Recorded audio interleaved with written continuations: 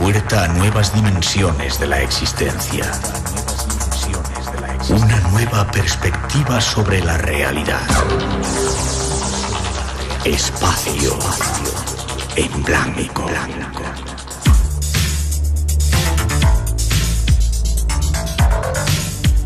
Una producción escrita y dirigida por Miguel Blanco.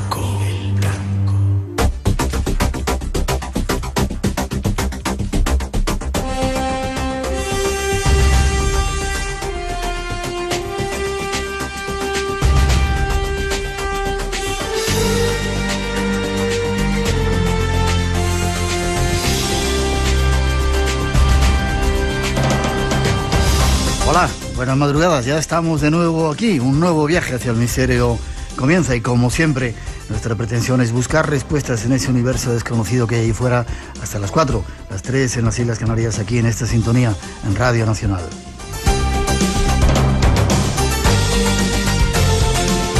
Esta es nuestra segunda cita del programa, a punto de finalizar el mes de julio y como siempre lo que deseamos es compartir este rato en la madrugada, dispuestos para con vuestra ayuda llenar este espacio en blanco que ahora se abre.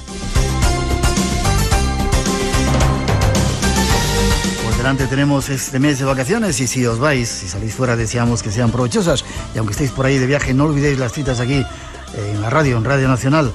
Dicen que el verano es un buen momento para escuchar la radio, para disfrutar de la radio y a ellos vamos a invitar en las próximas semanas con programas especiales que no debéis perderos.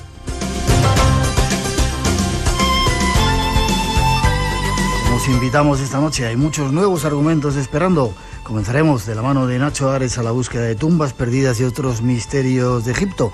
Y más tarde llegará uno de los testimonios más impresionantes de un encuentro con humanoides que ocurría en una base militar aquí en España.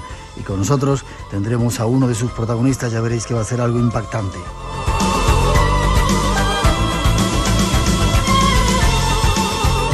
Y habrá una que otra sorpresa más. El email que funciona, por si queréis entrar en contacto con nosotros, espacio en blanco arroba rtv.es y nuestro muro de Facebook con los saludos para todos los que estáis ahí y los saludos de Santiago Francia, nuestro técnico que esta noche controla nuestro mágico sonido. Saludos en nombre de todo el equipo, a todos los que estáis ahí tras el receptor en cualquier parte del mundo y a lo largo de la semana en el podcast, comenzamos, tras esa intro, nos vamos de viaje.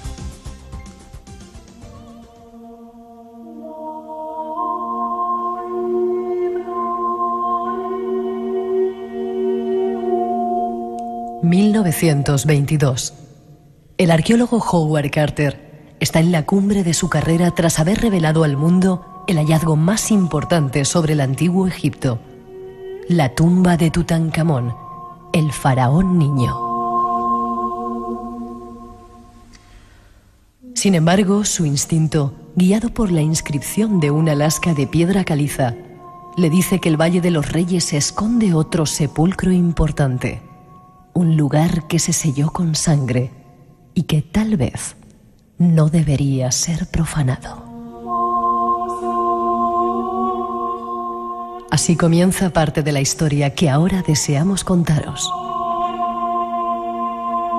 Sucede en Egipto, ese país lleno de sorpresas. Ese lugar donde aún se encuentran ocultas cientos de tumbas, de templos, quizás hasta de pirámides.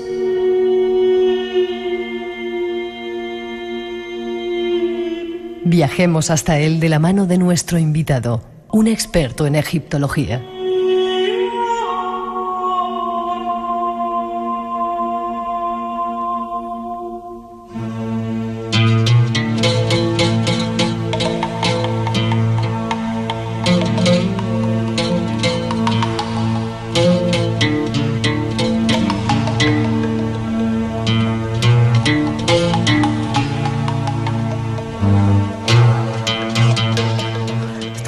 Lleva a Egipto tras la búsqueda de esa tumba perdida Y no te podemos tener mejor guía para ese lugar que Nacho Ares, nuestro compañero. Buenas noches, Nacho. ¿Qué tal, Miguel? Buenas noches. ¿Cómo estás? Pues encantado de estar un ratito, aunque sea un ratito pequeño, compartiendo el tiempo con tus oyentes. También nosotros de que estés aquí. Licenciado con grado, ¿qué significa esto de con grado? Poco es el eh, eh. proceso de la titulitis en España, ¿no? Es que yo me licencié con, hice la memoria de licenciatura, la, la tesina, al tiempo que hice la, la carrera, eso es, la licenciatura con grado. En Historia Antigua por la Universidad de Valladolid y una de las personas en España que más sabe acerca de Egipto. Lo poco que yo sé de Egipto lo he aprendido de él y no soy muy buen alumno porque no he aprendido mucho. ¿Y has escrito cuántos libros? 10, 12, ya no me acuerdo. Pues sí, la verdad es que yo no los tengo en, en, mente. Siempre que me lo preguntan lo tengo que lo tengo que contar. Pero sí, son una docena más o menos, de, prácticamente todos destinados, bueno, dedicados al mundo de, del antiguo Egipto. Una docena de libros viene aquí, sí. Y ahora has escrito por primera vez una novela que se llama La tumba perdida. Pues sí, La tumba perdida es mi primera novela. Yo escribí una novela hace un par de años eh, enfocada a otro aspecto de la historia que a mí me apasiona, que es el siglo XVI, la época de la princesa de Éboli, el reinado de Felipe II. Pero esta novela que apareció en enero, eh, La tumba perdida, publicada por Grijalbo, es cierto, es la primera novela que yo dedico al, al mundo egipcio y además a uno de los eh, aspectos de su cultura que más me apasiona, ¿no? que es el, el reinado de Tutankamón y sobre todo el descubrimiento de la tumba de Tutankamón Tutankamón, del que vamos a celebrar en muy poquitos meses el 90 aniversario. Uh -huh. Luego hablamos un poquito más de la novela, si te parece, ¿vale? Perfecto. Eh, que me has liado porque tengo mucho que hacer y cuando uno le engancha ya de repente te atrapa como esa maldición de los faraones y no te puedes escapar. Eh, 1922 se halla la tumba de Tutankamón. Qué emoción debieron sentir, ¿no? Los que estaban allí. Desde luego que sí. El, mira, el, el, en las ruedas de prensa y en los encuentros que he tenido con lectores, eh, todos coinciden en lo mismo, ¿no? Es, yo creo que es uno de los momentos más apasionantes de la historia de la, de la arqueología, pero no solamente focalizada en Egipto, sino en, cualquier otro lugar del planeta, ¿no? Ahí eh, podemos llevarnos a, a, pensar que, bueno, que quizás el descubrimiento de la tumba del señor de Sipán o de los eh, guerreros de, de, Xi'an en China, la tumba de Qin Shi Huangdi, pues eh, quizás podrían haber eh, tenido el, el, mismo, bueno, pues el, el mismo reflejo en las personas que lo descubrieron, ¿no? Y sin embargo, el descubrimiento de la tumba de Tutankamón pasa por ser y es, desde mi punto de vista, el mayor descubrimiento de toda la historia, ¿no? No solamente por lo que precedió al hallazgo, que es una verdadera eh, trama que ya quisiera para sí el, el mejor guionista de, de, Hollywood, sino sobre todo lo que sucedió después, eh, enfrentarse por primera vez a muchos objetos de los que solamente se tenía noticia hasta entonces por pinturas de tumbas, ¿no? Es quizá uno de los, eh, de los mejores logro, logros que tuvo Carter, ¿no? Encontrarse con objetos de la vida cotidiana, objetos que habían sido utilizados en vida por un faraón que solamente en muchas ocasiones se conocían pues por dibujos de, de tumbas o en papiros, etcétera, ¿no? Eh todo lo que se encontró en esa tumba, medio museo casi del Cairo de, de antigüedades está lleno de lo de ese, lo que había en esa tumba y era un faraón de tercera categoría, ¿no? Casi Tutankamón, de segunda división. Sí, hombre, de, llamar a un rey así de segunda división quizás es, es, un es poco... un poco falta de respeto, lo siento, Tutankamón.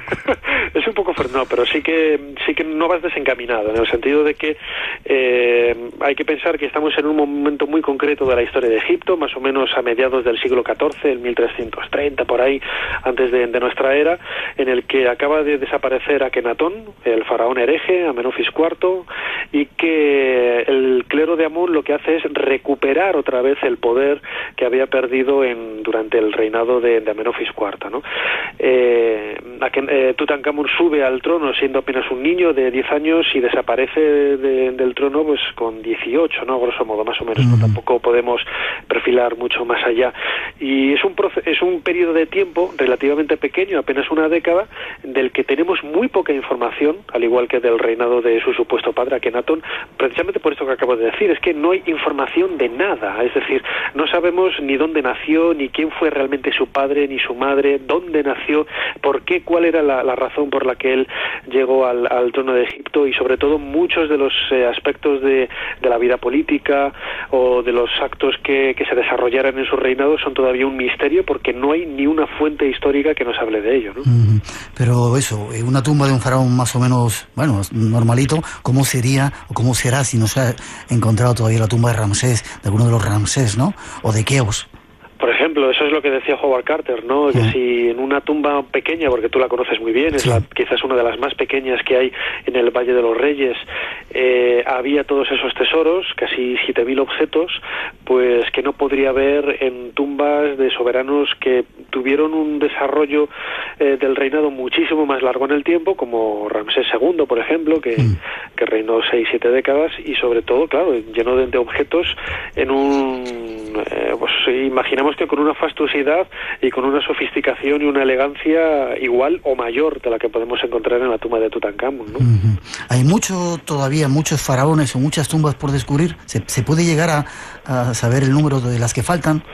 Pues mira, mm, yo creo que sí. Y si nos centramos, por ejemplo, en el ámbito de, la novela, el, Valle de los Reyes, que es el lugar donde se desarrolla la, historia, eh, cuando apareció publicada en enero, la misma semana en que, en que salía a la venta, en el Valle de los Reyes se daba a conocer el descubrimiento de una nueva tumba, la KV64, una tumba de la dinastía 22, más o menos de, del 700 antes de, nuestra era, perteneciente a una cantora de, de Amón y que y que bueno que nos demuestra una vez más que, todavía es mucho lo que queda por, por descubrir no hay en, ocasiones eh, hablándolo con, con, algunos arqueólogos por ejemplo John Romer un, arqueólogo inglés que ha trabajado durante muchísimas décadas en, el Valle de los Reyes él me decía eh, mira Nacho la única manera que tenemos de saber cuántas tumbas quedan en el Valle de los Reyes es quitar todos los escombros que hay y, y sacar los agujeros a la luz porque es que eh, hay que pensar que en los dos últimos siglos es un lugar en donde se ha estado excavando continuamente, pero en muchas ocasiones de una manera muy poco sistemática. Es decir, lo único que se hacía era remover y revolver los escombros de un sitio para otro, ¿no? Lo que nos está haciendo pensar que, en efecto, eh, hay eh, todavía muchas tumbas por, por descubrir, ¿no? Egipto, del Valle de los Reyes y de otros lugares se dice que solamente se ha descubierto el 10% de lo que hay. En el Valle de los Reyes es bastante fácil, ¿no? Se sabe eh, una tabla de los faraones que ha habido, se han descubierto 4 o 5, luego si hay 50 faltan 45, ¿no? Mira, desde luego que sí. Además hay una pieza que yo creo que es clave en toda esta historia y que le da quizás más, más misterio a la, a la trama de, las excavaciones que se pueden realizar en el Valle de los Reyes. Eh, Howard Carter descubrió en el año 1902, muy cerquita de la tumba de Tutmosis IV, en el Valle de los Reyes, una lasca de piedra, un ostracón, ¿no? que es de época ramésida del reinado de Ramsés II, pues más o menos hacia el 1275 antes de nuestra era. Pues en esa pequeña lasca de piedra de apenas 13 centímetros, que a mí me sirve también como... Lo utilizas, lo utilizas en la novela, ¿no? Efectivamente, me sirve a mí de, percha para crear una historia de, ficción que bien pudo haber sido realidad. Bueno, pues ese texto, dejado por un escriba anónimo, lo que nos está diciendo es la ubicación de varios lugares, en concreto siete, del Valle de los Reyes, que hoy por hoy están sin descubrir. Es decir, hace referencia a varias tumbas, a otros lugares que posiblemente son una especie de santuarios o templetes, en lugares sagrados en definitiva, y lo más impresionante de todo es que da la distancia que hay entre unos y otros. Claro, la gente que nos escucha pensará, bueno, ¿y por qué no se sigue esa, especie de mapa del tesoro? Porque es un mapa del tesoro, en mm. efecto, como, los que utilizan los piratas, ¿no? O aparecen en las novelas de piratas. El problema principal es que no sabemos los nombres que utilizaban los egipcios para llamar a estas tumbas. Es decir, nosotros hablamos de la tumba de Tutankamón, la KV62, la tumba de Seti I, la KV17, etcétera, ¿no? Pero ¿cómo llamaban los egipcios a estas tumbas? Pues no lo sabemos. Y los nombres que aparecen ahí, eh, pues en muchas ocasiones no, no, es el propio nombre de la tumba, sino como sucede en los, eh, en los barrios y en las ciudades de, de cualquier población, los nombres de las calles vienen como una especie de mote de algo que era característico de esa calle de ese pasaje que con el paso de las décadas o siglos ha dado nombre a la, a la calle, ¿no? Y claro, cuando se nos habla de, del agua que viene del cielo, pues eh, seguramente esté haciendo referencia a una grieta por donde en las épocas de, lluvia pues había una cascada, ¿no? Pero ¿cuál de ellas? Porque hay un montón de ellas, ¿no? Ya. Eh, en tu libro y haciendo referencias a Alaska de Piedra dices que eh, un lugar que se selló con sangre y que tal vez no debiera ser profanado. Hay tumbas que no dejan que se, se, descubran, quizá por esa algo de la maldición, como se habló cuando se descubrió la de Tutankamón? Hombre, desde, desde luego que sí. Hay algunos eh, lugares que, eh, no voy a decir que estén malditos, ¿no? Pero sí que es cierto que yo siempre he pensado lo mismo en el sentido de que el día que conozcamos absolutamente todo del antiguo Egipto, este país va a perder todo su encanto, ¿no? Y es una, una afirmación que, bueno, que quizás nosotros como seres humanos y como tener esa necesidad, esa sed de, intentar conocer y ampliar y profundizar en lo que es en este caso la cultura egipcia, pues nos gustaría saber, Pero desde luego hay, lugares que, que en efecto eh, se nos escurren de los dedos, ¿no? Cuando, intentamos eh, intentamos asirlos, ¿no? Ahí, por ejemplo, eh, la, tumba de Amenofis IV, de Akenatón, su momia, eh, hay diferentes pistas a través de las investigaciones que se han realizado en algunos lugares de Egipto donde podríamos ubicarla, ¿no? Pero siempre nos falta esa confirmación definitiva que nos dé la certeza de que realmente estamos ante la tumba de Akenatón, ante la momia de, de Akenatón o incluso un personaje mucho más conocido, ¿no? La, la, la reina Nefertiti, su esposa, de la que no tenemos ni idea, ni, ni quién era, ni cómo desapareció, porque llega un momento del reinado de Akenatón que desaparece de los textos y, y, no sabemos ni a dónde va, ni, ni absolutamente nada, y se ha estado buscando su tumba hasta hace poquitos años en el centro precisamente del Valle de los Reyes, muy cerquita de la, de la tumba de Tutankamón, ¿no? Pero siguen siendo esos grandes enigmas que en ocasiones piensas que realmente estas personas de alguna forma u otra estaban malditas, ¿no? Habían sido maldecidas en la, en la antigüedad, bien por actos que llevaron a cabo o bien por rituales que luego se les sacaron encima. ¿no? ¿Crees en las maldiciones? Hombre, crear en las maldiciones eh, tal como me lo preguntas, no. Pero, por ejemplo, si tú me dices eh, en relación a la tumba de Tutankamón, nadie puede negar las muertes que hay ahí. Es decir, eh, que una veintena de personas que de una manera indirecta estuvieron en la ceremonia de apertura de la cámara funeraria de la tumba de Tutankamón o la visitaron en aquellas fechas que murieron, pues eso no lo puede negar absolutamente nadie. ¿no? Los propios textos de los antiguos egipcios nos lanzan esas maldiciones eh, es decir, no, no, es extraño, pero desde las primeras dinastías, desde el 3000 antes de Cristo hasta el final de la historia de Egipto, en el cambio de era, esos tres milenios están repletos de textos de execración, es decir, textos que nos eh, eh, advierten del peligro que corremos si entramos en un lugar con una con una idea de cometer actos impíos, ¿no? Y, y esto lo podemos entender como algo natural desde el punto de vista del miedo que tenían los egipcios de de, que todo aquello que dentro de su estructura mental habían estado construyendo precisamente para continuar su vida en el más allá, pues alguien llegara, lo perturbara y, les, les fastidiara el, plan, podríamos decir, ¿no? Pero sí que es cierto que en el, no solamente en el caso de la tumba de Tutankamón, sino en, otros eh, eh, descubrimientos realizados en Egipto, ha habido circunstancias extrañas que nos podrían hacer pensar en la, en la posible existencia de, maldiciones. Eh, ya te digo que yo no creo en, en ellas, pero las muertes desde luego están ahí. Habrá que quizás buscar una, una solución o una respuesta probablemente no menos enigmática ¿no? que la maldición.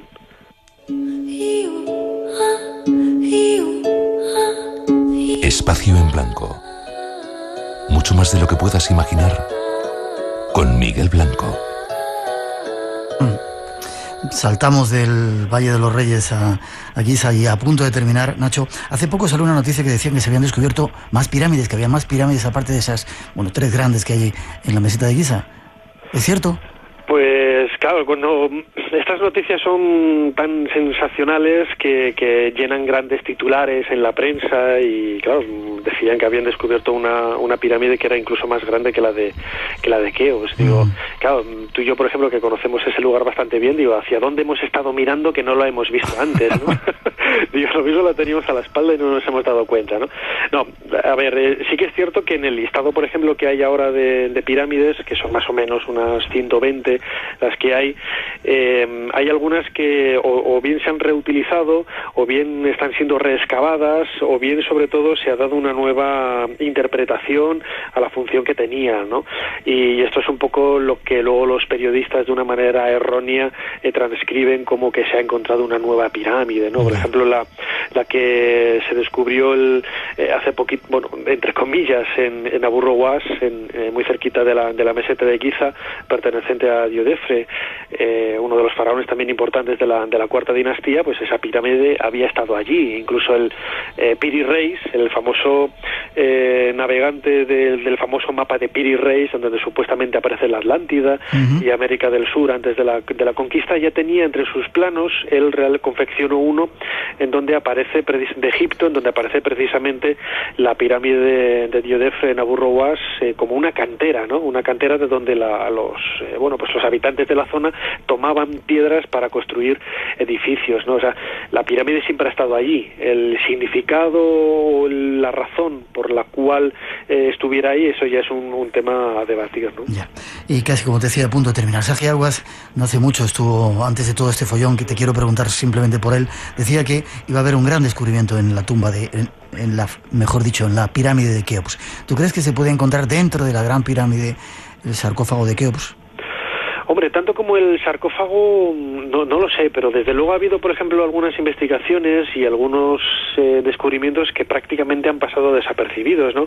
Recordarás eh, muy bien, y los que nos están escuchando también, la prospección que se realizó en el canal eh, sur de la Cámara de, de, la Reina en el año 2002, perforando ese agujero de esa puerta que había descubierto Gandenbrink años antes, ¿no? En el 93, y que había pocos centímetros detrás, a unos 30 me parece que eran centímetros, una nueva puerta. Bueno, pues eh, Discovery Channel el, año pasado realizó un barrido con una cámara de, de esta pequeña habitación ¿eh?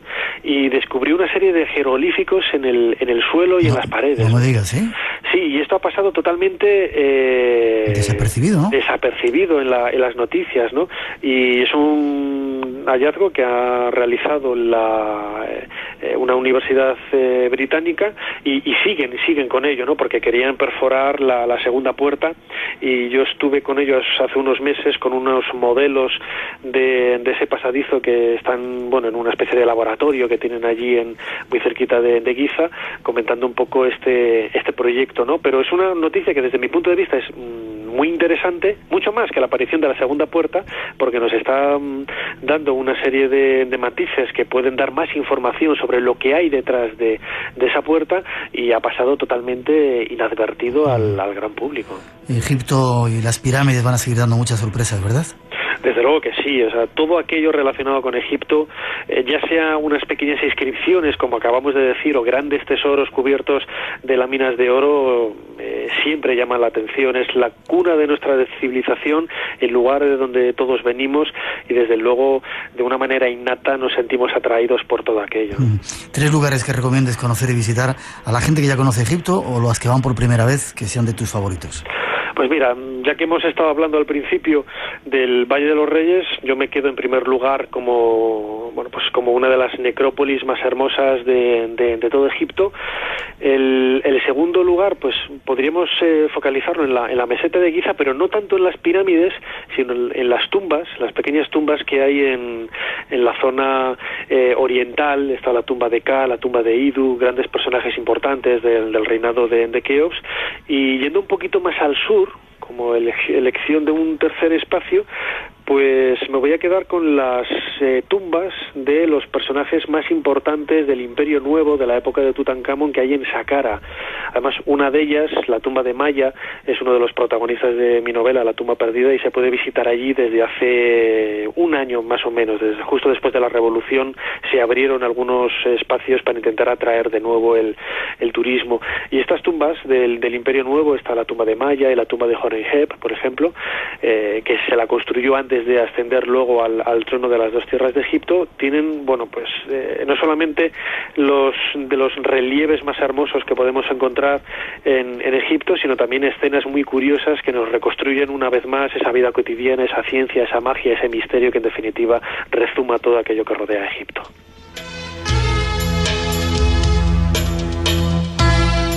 Nacho Ares, eh, ha sido nuestro invitado. ¿Cómo está Egipto ahora? Eh, tú acabas de venir, tienes la suerte de tener casa allí y viajar mucho más a menudo que yo, pero estoy detrás de ti de pillarte. ¿Cómo está Egipto ahora? ¿Es seguro? Eh, ¿Podemos seguir visitándolo? Sí, desde luego que sí. Yo invito a todos los que nos están escuchando que, que sigan viajando a Egipto. Acaban de ser las elecciones y mm, es un proceso de cambio lento, tampoco tenemos que fiarnos de todo lo que nos dicen en la, en la televisión, ha habido cambios, ha habido momentos de, de cierta convulsión, pero desde luego el, el ambiente en los lugares arqueológicos, el ambiente en las calles, la vida es de lo más tradicional y de lo más normal como siempre lo ha sido, ¿no? Un país que nos está esperando con los brazos abiertos. Y sigue siendo de los más seguros y sobre todo de los más amigables, ¿no? Qué sonrisas, qué forma de tratarte. Desde luego que sí, los egipcios son muy hospitalarios, más allá de, de bueno, pues de, ese vínculo que en definitiva nos, nos une en muchos casos a nosotros, ¿no? Antes decía que era eh, parte de la cuna de nuestra civilización, nosotros venimos también del mundo árabe y vamos a encontrar en infinidad de, de vínculos casi afectivos, ¿no? Me atrevería a decir con la gente de allí. Nacho, gracias. Déjanos seguir aprendiendo de ti. Y hay tumbas que no desean ser descubiertas. Si queréis saber por qué la tumba perdida de Nacho Ares. ¿Forma de contacto? Pues el correo electrónico es muy fácil, la tumba perdida arroba hotmail.es. ¿Alguna página web? En nachoares.com, por supuestísimo. Gracias, Nacho. Fuerte abrazo, se te quiere, que sigamos viajando, que sigamos apasionados por este mundo de la historia y por este mundo de Egipto.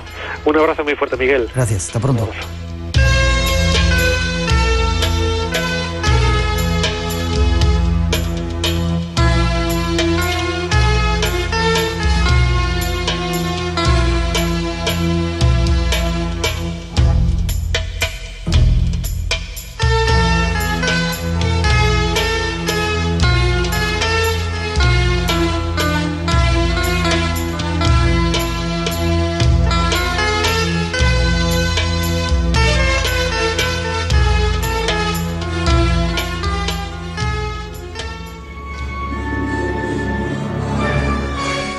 En otros mundos.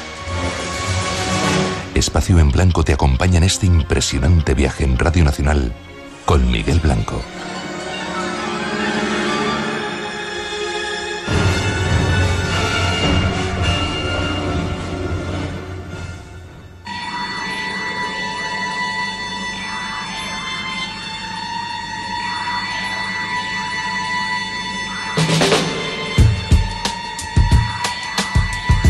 De Egipto, de ese país fascinante al cual habrá que volver seguramente este próximo año muchas veces y habrá que estar atentos a los nuevos descubrimientos. Nacho no lo avanzaba, hay mucho todavía enterrado en ese desierto y aquí queremos descubrirlo junto a todos vosotros. Con más misterios. El siguiente ocurría en una base militar y representa uno de los casos más inquietantes de encuentros con humanoides. Tenemos aquí a uno de sus protagonistas y ya veréis qué increíble es. Tras esa introducción eh, nos va a servir para daros más datos y entrar en el tema.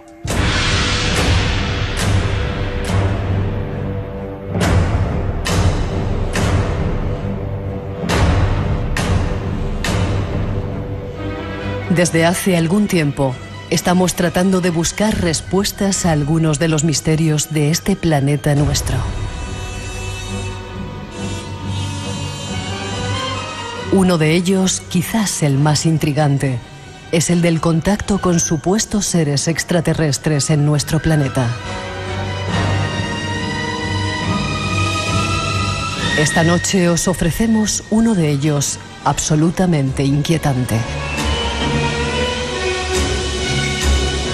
Ocurría en los años 70 dentro de una base militar de alto nivel de seguridad. La experiencia es absolutamente apasionante y tenemos con nosotros a uno de sus protagonistas. Junto a él queremos rememorar el caso, uno de esos que no han sido desclasificados por el ejército español. Revivamos ese encuentro espeluznante.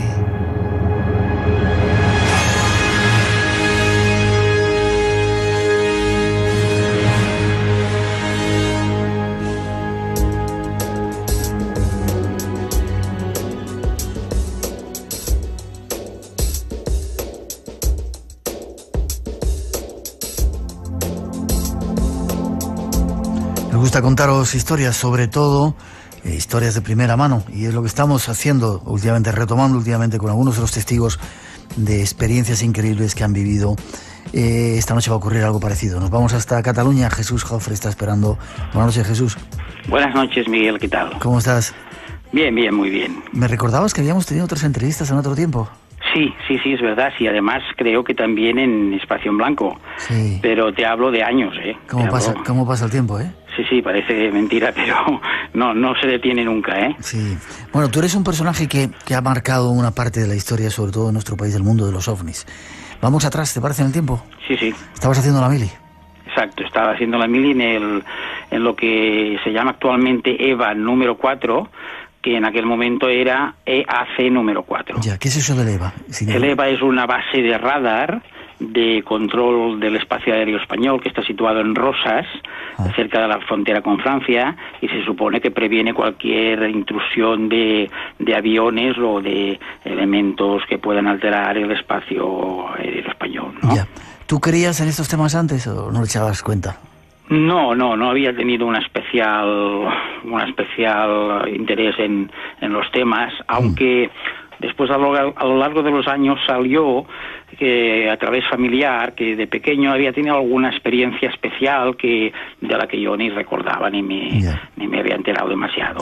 Vale, estabas en Rosa, en el EVA 4, haciendo la mili. ¿Qué pasó? ¿Cuándo, ¿cuándo fue? Esto fue el 25 de marzo del año 71. Marzo 71. Sí, era una noche oscura. eh, la base de radar está en un promontorio de roca viva que da a la bahía de Rosas. Y eh, yo estaba con un grupo de siete compañeros, eh, habilitado como cabo, y era miembro del grupo de PEA, de Policía Aérea, que, cuya misión era guardar el perímetro vallado de la base y no, no, no dejar entrar a nadie. Estabas de guardia, de guardia esa noche. Bien, más que de guardia, eh, era un grupo que estábamos permanentemente 20 días de servicio y, eh, bueno, íbamos haciendo mm, guardias en función al grupo, pues de dos en dos, ¿no? Esa noche nosotros eh, teníamos perros pastores alemanes entrenados para guarda y defensa y estaban extrañamente alterados, aullando, eh, más que incluso que ladrando, lo cual es raro en perros pastores alemanes, ¿no? Y con muy, muy alterados, pero con todos nosotros viendo que no se calmaban y viendo que llegaba la hora de la película de la tele, los que no estábamos en el puesto de vigilancia, pues nos fuimos a ver la tele, ¿no? Ya. ¿Qué película te acuerdas? O qué? Sí, sí, estaban haciendo una serie que nos gustaba mucho que era Manix. Manix. Manix, agente secreto, agente Casi- no sé qué. casi bueno, nada. bueno, nos, ni- nos distraía eso un Ya. rato. Dime una cosa, eh, ¿hacía mal tiempo o era noche No, calma? era una noche relativamente despejada, pero mm, bastante oscura. Eh, una noche en la, de las típicas de, de la zona de, del Paní, de la Costa Brava. ¿no? Nosotros vimos la, la tele, los perros continuaban aullando. Finalmente, con el compañero que eh, se encargaba de- del control de los animales, pues salimos a ver qué pasaba y un tercer compañero que estaba en la caseta de guardia pues nos advirtió de que había una luz extraña pues en la vertical de las antenas de microondas que estaban separadas de nosotros y de las caneras de los perros como 200 metros más hacia el final del, del perímetro vallado de la base después de estas casetas ya había unos 10-15 metros de espacio y ya las vallas y nada más ¿no? Y efectivamente fuimos hacia allí, quedamos anonadados porque en la vertical de, la, de las casetas de microondas había pues lo que es un clásico objeto volante no identificado, un ovni, que yo en este momento ya no me gusta llamarlo no identificado, sino que para mí hoy por hoy ya está muy claro que es una nave, que era una nave, ¿Mm? eh, pues que desprendía luz, pero no eh, deslumbraba, ¿no? Ya. Esa, esa luz, esa nave, como tú la, la llamas, fue vista por todos sus compañeros. Fue vista por los tres que estábamos en ese momento. Los demás estaban eh, en- dentro todavía del acuartelamiento, no habían salido, eh, y a los que lo vimos en, en primera instancia fuimos los tres. Ya. ¿Cómo era la luz? ¿Cómo era el objeto que estabas viendo? Pues el objeto era un clásico de, en forma de lenteja, con una ristra de ventanillas en medio, pues, o al menos de puntos de luz más brillantes que se asemejaban para nosotros como luces de ventanillas.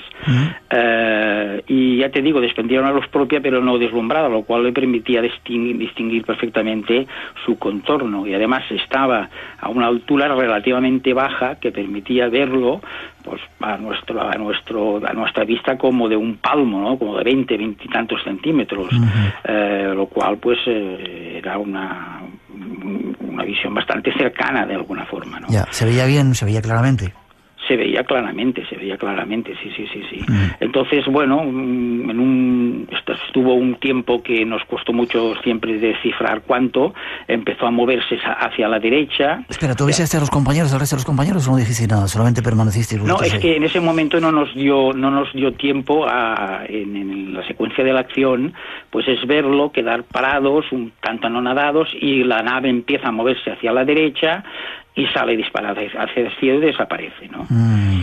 Pero ahí ocurre mm, lo siguiente, detrás de las casetas de microondas, un resplandor de una luz de un color verdoso, que no debía estar allí, porque nosotros conocíamos bien el perímetro y ahí ya no había luces, ni focos, ni, ni nada por el estilo, porque además después de esto ya quedaba cortada la, la roca casi en vertical hacia, hasta la bahía de Rosas, ¿no? O sea, mm. incluso el acceso por allí era un acceso muy complicado y difícil. Al ver esa luz fue cuando yo tomo la iniciativa, le digo al compañero que estaba en la caseta de guardia que, entré, que entrase en contacto con la base de radar eh, donde para preguntar si habían visto algo en el radar. Y eh, envío a mi compañero eh, a buscar los correajes y sacamos a uno de los perros, nos armamos y eh, fuimos hacia la caseta de microondas. En esto sí que los compañeros empiezan a ver que pasa algo, les digo que todo el mundo permanezca en sus puestos, eh, doy una alarma por decirlo así, mm. y nos avanzamos, eh, mi otro compañero y yo, Anselmo y yo, hacia la caseta de microondas con el perro.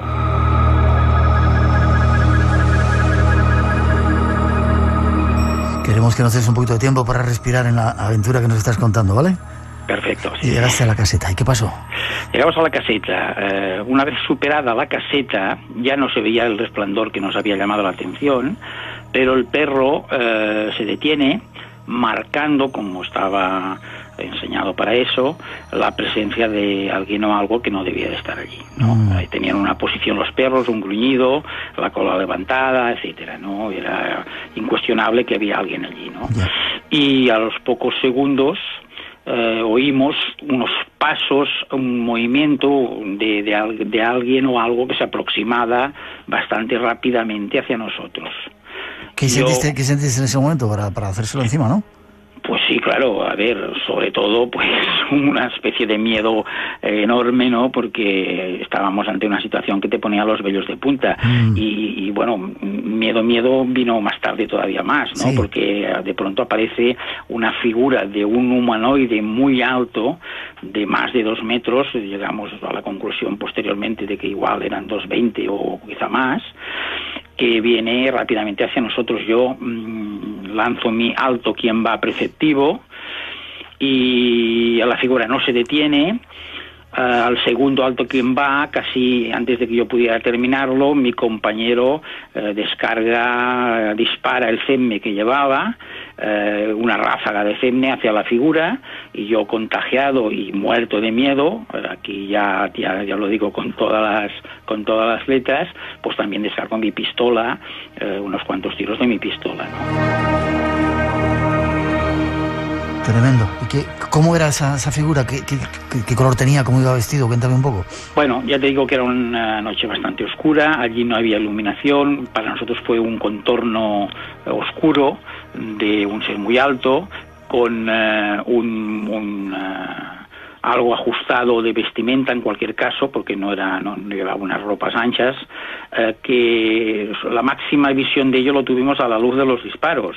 Ah. Y lo que más nos llamó la atención fue eh, esa especie de, de, traje ajustado, como una segunda piel, de un color eh, más bien grisáceo, y una hebilla de un, en un cinturón que brilló al, a la luz de los disparos. Jesús, ¿y los disparos no le hicieron nada? ¿No se cayó al suelo? ¿No, no le heriste? Pues eh, increíblemente no, porque primero estábamos a escasos 4 o 5 metros de, del ser, después tanto Anselmo como yo éramos buenos tiradores en la base, de los que teníamos puntuaciones buenas, aunque cabe pensar que nuestra, nuestro miedo pues igual nos hiciese disparar bastante desviado, sea como fuere, eh, no el, individuo simplemente se paró y eh, al cabo de un tiempo que también pareció eterno, eh, quizá, no sé, 30 segundos, un minuto, eh, dio la vuelta sobre sí mismo y se volvió por el mismo sitio por donde había venido. ¿no? Lo único que oímos fue un golpeteo al cabo de unos segundos contra la valla que cerraba el perímetro.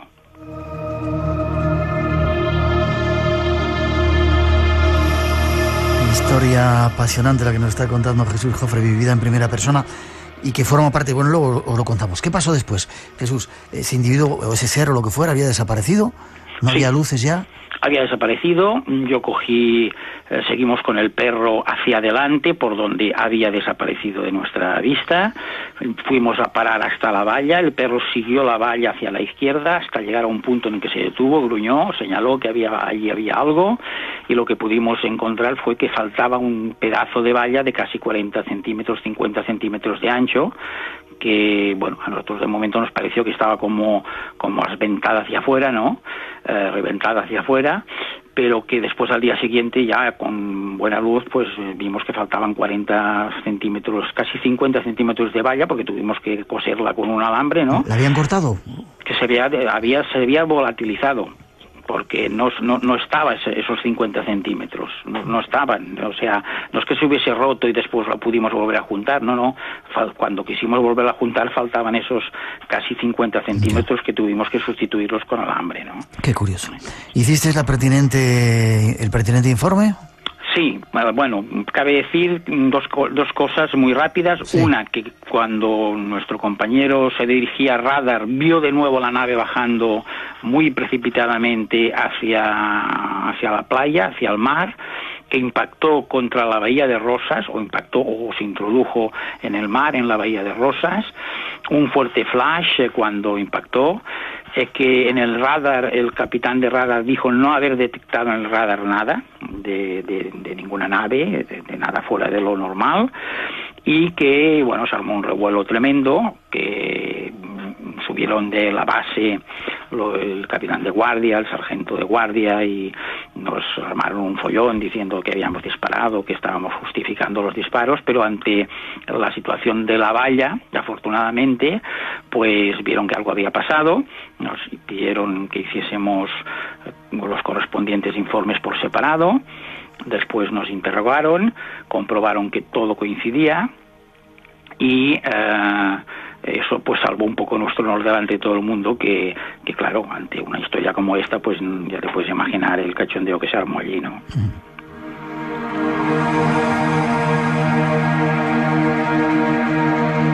Eso pasaba el 25 de marzo de 1971. Se hizo un informe, un informe que sigue siendo secreto, que no está desclasificado, ¿no?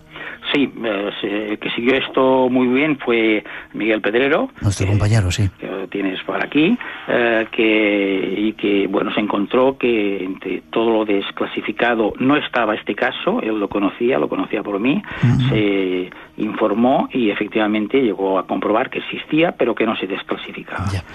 Eh, ¿Tu vida cambió a partir de entonces, Jesús?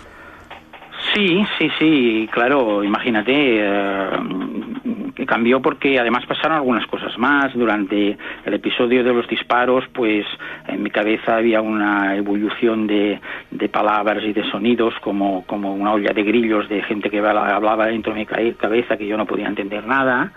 Eh, después en, en ensoñaciones que tuve noches posteriores fui aclarando que ese, esas, esa, ese griterío en mi cabeza era un mensaje que de alguna forma u otra estaba recibiendo yo de, ese ser. Eh, claro, eso me obligó a plantearme ya, si no era suficiente con la experiencia vivida, pues también eh, el porqué de, de, todo, ¿no? Y a partir de, de, ese momento, pues claro, se inicia una etapa de preguntas en tu vida, si eres un poco coherente, que te lleva, después de haberte preguntado, pues si esos seres, si ese ser estaba ahí, de, pues quién era, de dónde venía y qué quería, mm. pues eh, de forma coherente acabas también preguntándote quién eres tú, de dónde vienes y, y a dónde vas, ¿no? ¿Eh? Tú terminaste la mil y Jesús, te fuiste del de, cuartel ¿Has, encontrado esas respuestas al cabo del tiempo? ¿Qué era lo que viste? ¿Qué era, ¿Quién era ese ser? Fue, mm, bueno, fue hubo un primer periodo de búsqueda desesperada de, de contacto de ovnis, donde el, grupo de los tres que habíamos vivido más de cerca todo esto, pues montamos un equipo que fuimos investigando y tal, pero pronto se vio que era infructuoso y que lo único que conseguíamos era uh, acumular datos y nada más, ¿no? Entonces yo dejé la idea de, de, de, la búsqueda en esa fase y empecé a buscarme un poco más a mí mismo, ¿no?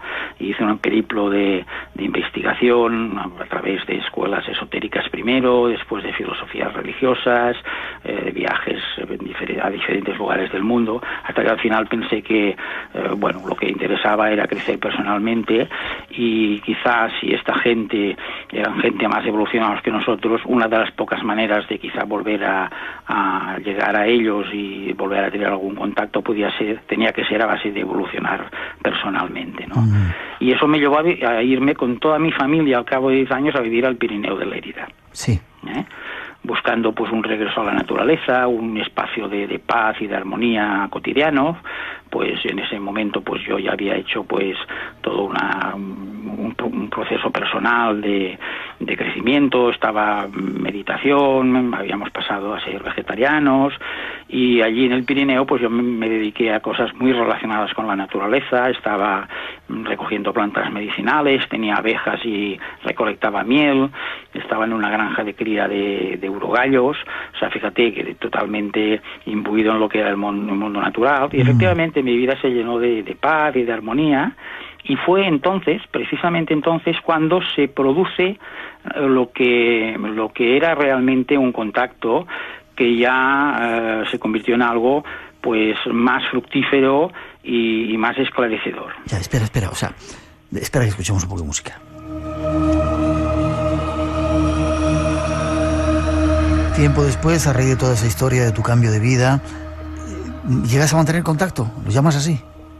Bueno, yo empiezo un, una noche de una forma espontánea a sentir una necesidad tremenda de coger un papel y lápiz y empezar a escribir. Mm. Y empiezo a escribir lo que después de 60 o 70 páginas de, de garabatos fue una primera psicografía en la que se me, se me daba la, la, la bienvenida a, al contacto y se me invitaba al cabo de pocos días a un encuentro eh, concertado eh, en el puerto de, de, la montaña donde estábamos viviendo, en el Pirineo. ¿Y fuiste y los viste? Pues efectivamente, efectivamente. Sí. Yo allí lo que pasó fue que mmm, se me dio una cita un día y una hora en la montaña, yo esperaba ver unas luces y lo que vi fue de nuevo la nave que había visto en, el, en el, la base de radar en la primera ocasión. Ya. Uf, ¿cuántas preguntas te tendría que hacer? ¿Todo eso sigue ahora? Sí, de otra manera, porque cabe decir de que eh, hay un proceso muy, muy fuerte y, y lleno de, de, de, experiencias distintas, eh, un periplo de un viaje alrededor del mundo en un barco de vela que acaba en Perú y acaba todo esto en el año eh, 89 con un encuentro en tercera fase. Ya. Yo no sé si dejarlo para hacer una segunda parte contigo, ¿te parece? Ah, eso como tú quieras. Me encantaría. Eh, a mí también me gustaría porque siempre la premura de tiempo en la sí, radio hace de que acabes explicando todo un poco a medias. Vale, pues y... te hago una última pregunta y, y, hacemos un punto y seguido y, y seguimos después. ¿Te parece otro, en otra ocasión? Correcto. ¿De dónde vienen estos seres? ¿Qué quieren de nosotros? Bueno, lo más importante de, de, tu pregunta, de lo que implica tu pregunta, es eh, qué nivel evolutivo tienen estos seres porque dependiendo del nivel evolutivo en el que están, mm, podemos esperar una cosa u otra de ellos. Hay seres, sabes tú, de, de, tercer, de tercera dimensión, hay seres de cuarta, hay seres de quinta. Sí, Yo estaba contactando con seres de que en aquel momento eran de cuarta dimensión y que actualmente son seres de quinta dimensión, ¿no?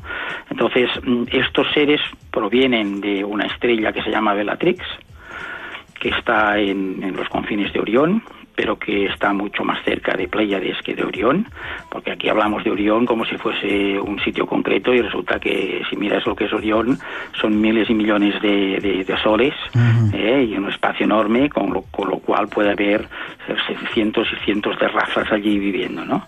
Pero en este caso, concretamente, estoy hablándote de estos seres, de los que tú puedes esperar uh, algo más espiritual y más de ayuda que si tratases con seres que fuesen de tercera dimensión parecidos a nosotros, mm, con lo que nosotros haremos si un día vamos viajando por, por las estrellas, ¿no?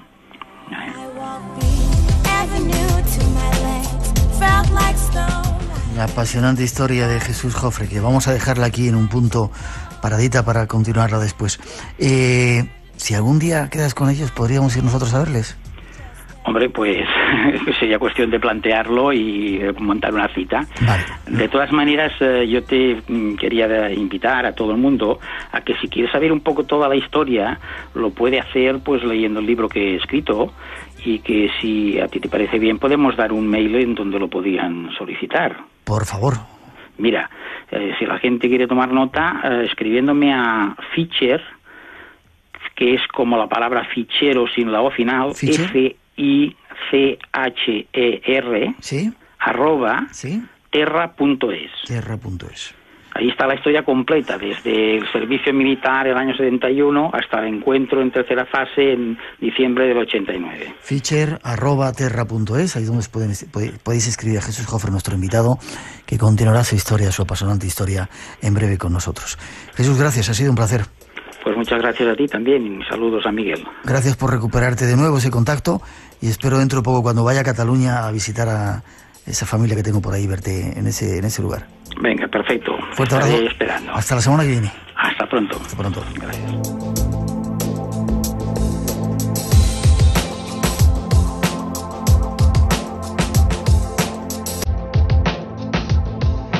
Espacio en Blanco. Tu cita con lo desconocido. En Radio Nacional de España. Con Miguel Blanco.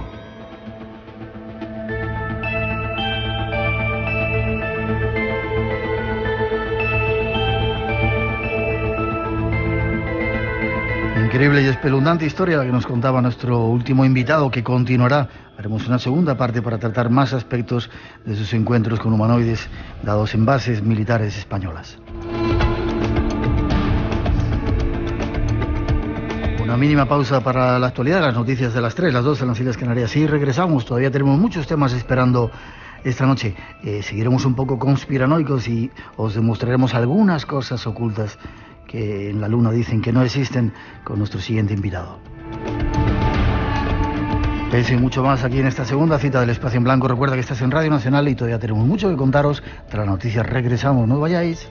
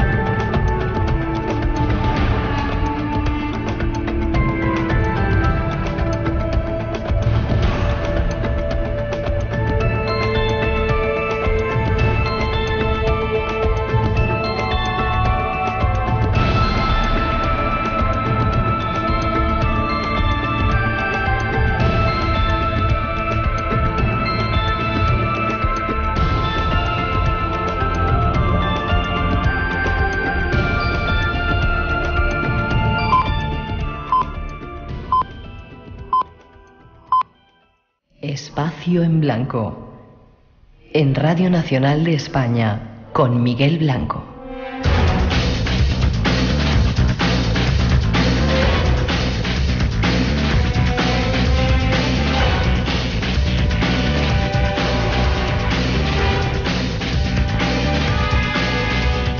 Faltan algunos minutos de las 3, las 2 en las Islas Canarias y aún tenemos una hora para seguir viajando por esos universos misteriosos de este mundo nuestro. Y es un placer que quiera seguir aquí con nosotros en la sintonía de Radio Nacional.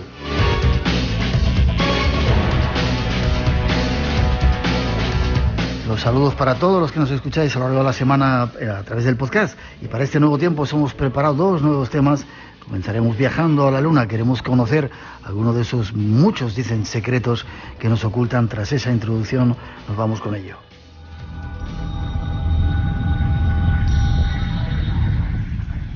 ¿Oculta la NASA pruebas sobre la existencia de vestigios humanos en la Luna? Los asistentes a la conferencia de prensa que dieron dos ex trabajadores de la NASA se quedaron atónitos cuando Ken Johnston y Richard Hoagland revelaron que dicha institución tiene en su poder fotografías que así lo muestran. Fueron captadas en el alunizaje del Apolo 11 en 1969.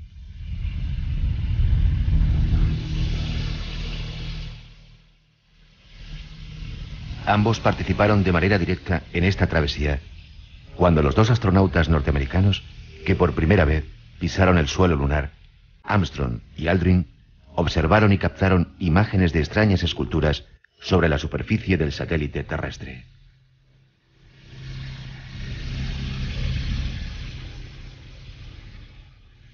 Johnston asegura haber recibido órdenes directas de eliminar todo rastro de aquellas fotografías.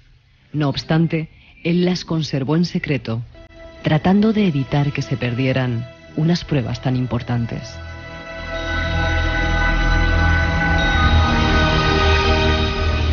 El exdirector de la sección de conservación de fotos de la NASA, Johnston, aseguró que las fotos publicadas en la prensa eran falsas.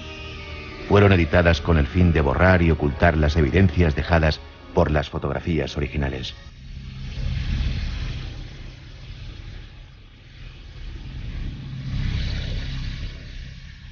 Por su parte, el ex asesor de la NASA, Richard Hoagland, señaló que los astronautas trajeron también algunos productos artificiales que hoy forman parte de la tecnología de países como Estados Unidos, Rusia, China, India y Japón. Curiosamente, países que en estos tiempos disputan una nueva carrera espacial para llegar a la Luna.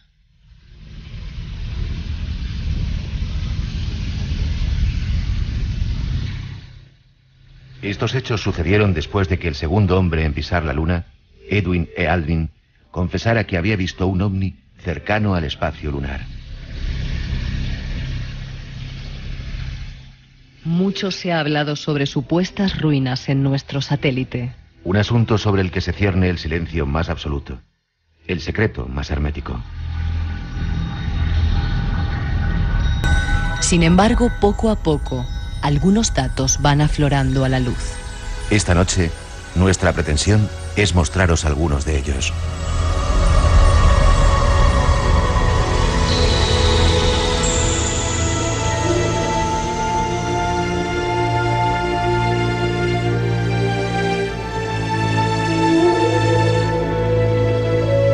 Parece que la luna no es lo que nos han contado. Hay muchos secretos y muchos enigmas y Carlos Gutiérrez esta noche nos lo va a aclarar. Buenas noches, Carlos. Buenas noches. ¿Cómo estás? Perfecto, aquí. Muy bien, muy bien. Me alegro. Con ganas de, contar cosas sobre, sobre nuestro misterioso satélite. Y nosotros de escucharlas. Lo primero, quizá, mucha gente dice que eh, la Luna no es un satélite, que es algo, algo más, algo extraño, ¿no? Por ejemplo, dice que no obedece las reglas conocidas de la astrofísica, por lo menos en cuanto a su posición, volumen y masa, es 3,66 veces más pequeño que la Tierra, pero pesa 81 veces menos y su órbita es realmente insólita. ¿Qué pasa con la Luna? Pues eso es lo que quisiéramos saber, lo que quisieran saber sobre todo, aunque parezca mentira, los científicos, porque no está todo dicho sobre la Luna y, no solamente que no están estudiadas todas las rocas que las eh, la misión las diferentes naves de la misión Apolo trajeron a Tierra eso sería lo de menos. Eh, la pregunta más importante es qué es la Luna. Y sobre esta pregunta que parece tan simple es sobre lo que ni los mismos eh, científicos más reputados se ponen de acuerdo. Porque ninguna de las teorías que se proponen para su origen es aceptada con, con unanimidad eh, por, por, eh, por, el medio científico. Mm, y por lo tanto ninguna de ellas eh, pasa todos los requisitos que, que se dan, que ha de pasar cuando para, una, para que una teoría sea aceptada. Es decir, no se sabe si la Luna se desprendió de la Tierra, si vino de fuera, golpeó con la Tierra y se quedó ahí orbitando, o incluso, y esto sería lo más, digamos, sorprendente, y algunos científicos aceptan esta posibilidad, si la Luna sería una gigantesca, una mm, inmensa nave espacial eh, camuflada y recubierta como si fuera un satélite natural y no algo artificial. Según los datos que yo tengo, dicen que en el 70, en los años 70, dos científicos soviéticos dijeron que la Luna era un satélite artificial puesto en órbita por seres inteligentes. Pero parece una locura esto, ¿no? Parece una locura, pero bueno, no lo dijeron dos, eh, dos personas cualquiera. Eh, eran miembros de la Academia de las Ciencias Soviética y su teoría mm, trajo mucha cola, incluso a día de hoy eh, sirve para que muchos otros científicos actuales se pregunten sobre si, si, si esto pudo ser cierto. Y hay numerosas, si no quieres llamarlo pruebas, los llamaremos elementos de juicio que, que podrían inducir, inducir a que, a, que esto fuera cierto. Por ejemplo. Uno de los detalles, sí, uno de los detalles más significativos y que, y que mejor pueden, se pueden entender por todo el mundo, es que mm, la Luna parece que tenga una, una profundidad tope. Me explico. Cuando la Luna eh, está cubierta de cráteres, todos lo sabemos, diferentes eh, tamaños en cuanto a su diámetro, pero en cuanto a su profundidad, eh, hay una, una, profundidad tope de la cual no se sobrepasa. Es decir, contra más mm, grande es el diámetro de un meteorito, más profundidad tendría que, más profundo tendría que perforar la superficie de la Luna. Y esto no es así. Llega un momento en el que mm, el cráter no se hace más profundo. Y esto es lo que a muchos eh, científicos les ha hecho pensar que quizás hay algo metálico que eh, eh, impide que algo profundice más en la Luna y, ese algo podría ser metálico en base a otras a otros elementos de juicio, como pruebas que se han hecho con sismógrafos en la Luna y que los resultados mm, daban a entender que parecía que aquello sonara como si tuviera un interior metálico. Empezamos bien empezamos bien con esta serie de misterios. Cualquiera que lo pueda escuchar dice, bueno, nos, estamos volviendo locos ya, ¿no? Sí, sí, porque es un... Eh, la luna es algo que tenemos muy cerca, ¿verdad? claro, y aparte parece súper conocida ya y la vemos todas las noches. Sí, sí, y parece que no nos puedan cerrar eh, grandes misterios, pero todo lo contrario. En la Tierra también tenemos, eh, por ejemplo, eh, por hacer una analogía, el fondo marino, y el fondo marino está todavía sin, excluir en su mayor parte. La Luna está más lejos, pero visualmente parece que la tengamos muy cerca y sin embargo estamos, como vemos, muy lejos de conocer sus misterios que, que en realidad encierra. Una pregunta que se hace todo el mundo. Durante los años 80, 90 hubo unas cuantas expediciones a la Luna. Se puso el pie en la Luna y de repente dejaron de ir. ¿Por qué? Esa pregunta del millón, ¿verdad? Bueno, hoy valdría más que un billón ya. Sí. Eh, no lo sé. La verdad es que mm, creo que, no sé si alguien lo sabe, pero desde luego se han. Eh, bueno, ahora parece que se va a volver más por. Mm, por, por, por, turismo que por que por, eh, por ciencia, pero realmente no se sabe por qué se dejó de ir en aquella época en la que mm, era tan habitual ir a la Luna y los posteriores viajes no crearon esa expectación del primero. Parecía como ir a la Luna era como, como cruzar el charco aquí, ¿verdad? Y, de repente se dejó de ir. Algunos, eh, algunas malas lenguas, vamos a ponerlo entre comillas, dijeron que se dejó de ir porque ahí se encontraron cosas que no tendrían que estar en la Luna. Y de esto podemos, eh, creo que vamos a hablar un poquito sobre qué es lo que pudieron ver eh, los astronautas de diversas misiones espaciales cuando fueron a la Luna. Mm, objetos que ya estaban allí, seres vivos que ya estaban allí cuando ellos llegaron incluso por primera vez, o incluso edificios que ya estaban allí cuando el ser humano llegó por primera vez a la Luna. Vamos por partes, si te parece, Carlos, ¿vale? En principio, quizá lo primero, señales de radio. Parece ser que desde 1927 y 1935 se, se recibieron algunas emisiones, pero en 1956 investigadores de la Universidad de Ohio recibieron charlas, lo que parecían charlas codificadas cuyo origen era la Luna. ¿Es así? Es así, lo que ocurre que lo que ocurre siempre. Eh, la NASA siempre niega todo de manera oficial, es decir, con respecto a las ondas, eh, emisiones de radio, mm, cualquier o muchos eh, radioaficionados en tierra pueden capturar señales del espacio y de hecho así ha ocurrido algunas veces y, y esa prueba o ese elemento de juicio, como antes hablábamos, está allí.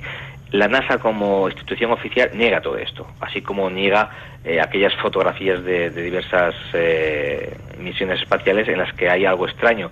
Pero luego tenemos las personas particulares, que aunque hayan trabajado en la NASA hablan como ellos mismos, normalmente trabajadores de la NASA ya jubilados, ya, retirados, y que entonces hablan de cosas que mientras estaban en la NASA tenían prohibido hablar. Y con las eh, señales de la radio que comentas ha ocurrido también lo mismo, filtraciones de personas que han trabajado en la NASA y que han dado fe de estas grabaciones algunas de ellas obtenidas por aficionados en tierra, eh, certificando que en efecto estas grabaciones eran ciertas y, nunca se han llegado a descifrar, pero esas señales de radio que mm, lo eran sin ninguna duda, parecían provenir de la Luna y parecían ser inteligentes porque parecían como, como cifradas, como si tuvieran un código.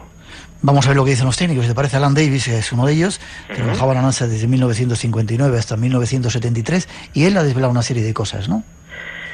Sí, eh, precisamente lo que hablamos. Una vez que se, que se retiró de la NASA, eh, al tiempo empezó a hablar. Y empezó a decir cosas muy interesantes. Y quizás la más, la más, eh, la que más puede impactar es que era seguro que en la Apolo 11, cuando bajaron los astronautas de, de la, del Apolo, vieron ruinas en la Luna. Ya no edificios modernos, sino auténticas ruinas, edificios ruinosos en la superficie de la Luna. Incluso Alan Davis dijo que él mismo no solo pudo recoger el testimonio, sino que pudo ver imágenes, eh, imágenes de estas ruinas y, que el mismo Armstrong, recordamos eh, la primera persona que puso el pie en la Luna, mm. Mm, aseguró que él cuando estaba andando por la Luna eh, se sentía se sentía observado y vio como había otras personas o otros lo que sea, pero que estaban allí antes que ellos.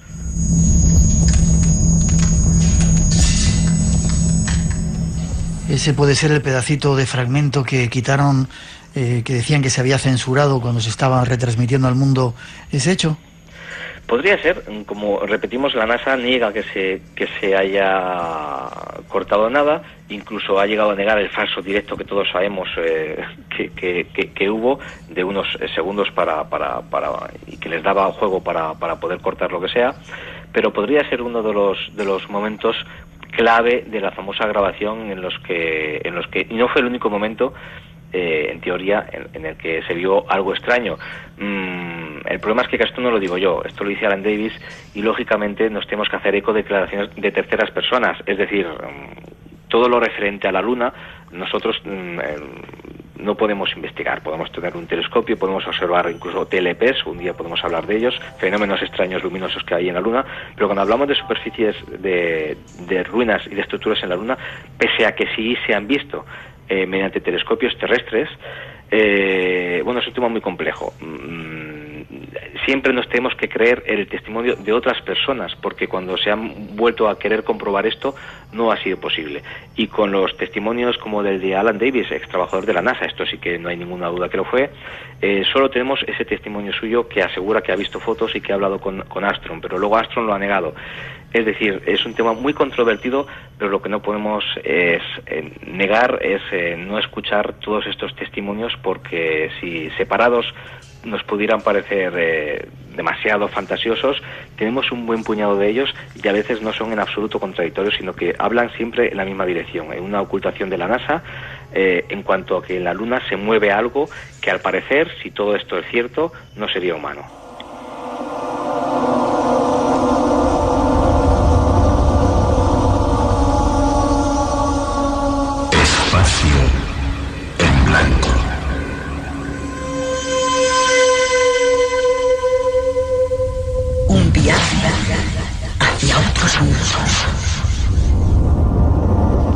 Esta noche este viaje llevándonos hasta la Luna, el satélite de la Tierra, aquí en Radio Nacional de España. Carlos, eh, decíamos bueno que hay una serie de aparentes datos. Vamos a ver si lo recogemos, aunque no haya certeza absoluta porque no podemos ir allí y no podemos verlo. ¿Quién fue el primero en decir? Carl Sagan, creo, en 1962, eh, era consejero de la Fuerza Aérea estadounidense y antes de convertirse en un reputado astrónomo dijo, la humanidad debe aventurarse a la idea de que seres inteligentes del espacio exterior nos han visitado y que poseen o han tenido bases ocultas en la Luna. Poco conocido esto que ha dicho Carl Sagan, ¿verdad? Así es, eh, y de hecho lo dijo cuando, como bien has comentado, era poco conocido. Luego no se atrevió a decirlo, sino todo lo contrario, ¿no? Estuvo en una posición bastante, bastante contraria. Mm, los primeros de las, bueno, una de las primeras noticias que tenemos en cuanto a cosas raras en la Luna, tenemos de siglos anteriores, pero, pero eran cosas quizás menos fiables. Pero ya en 1848, con la astronomía ya consolidada como ciencia, el astrónomo eh, de Múnich, Guthrie, no lo sé pronunciar, lo llamaremos Josen, que es parecido al, jugador del Barça, ¿verdad? Y es mucho más fácil de decir, porque tiene un nombre, un apellido muy raro. Era alemán. Sí, exacto, sí. Pues eh, este astrónomo mm, ya, ya vio cosas mm, que le llamaron mucho la atención de la Luna y lo que eh, y que él identificó como lo que podían ser construcciones o restos eh, restos, pero siempre artificiales en su superficie. Y a partir de entonces la cosa no ha parado. Es decir, en 1885, seguimos en el siglo XIX, eh, un astrónomo reputado francés también, Toulot, mm, vio también lo que él creyó que eran ruinas en la Luna. Eh, en el 53, Percy Wilkins y Patrick Moore, muchos oyentes seguro que los, que los recuerdan, hicieron una, una recopilación de estas posibles estructuras artificiales y contaron hasta casi 100 Incluso mm, ese mismo año, el reportado científico, que era editor, eh, editor científico precisamente del New York Herald Tribune, eh, John O'Neill, mm, vio lo que él consideró que podía ser un puente artificial de, eh, atención, unos 20 kilómetros de longitud sobre el Mare Crisium de, la Luna. Y después Patrick Moore, que ya lo hemos mencionado, ratificó esa observación.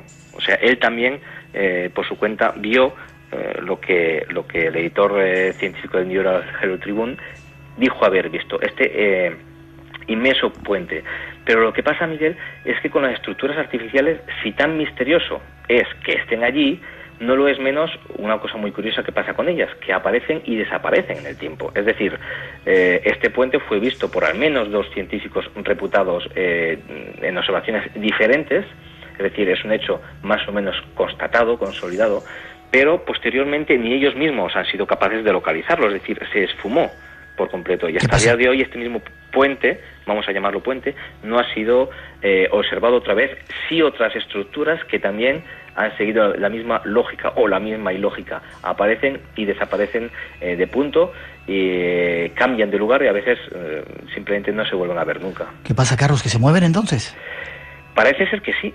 Y si esto fuera así, eh, ya digo, hablamos siempre en hipótesis, pero si esto realmente fuera así, si fueran estructuras y ocurriera esto, eh, tendríamos que, que, darnos, dar por hecho de que lo que ocurra en la Luna, sea lo que sea que, que hay, eh, sigue todavía activo.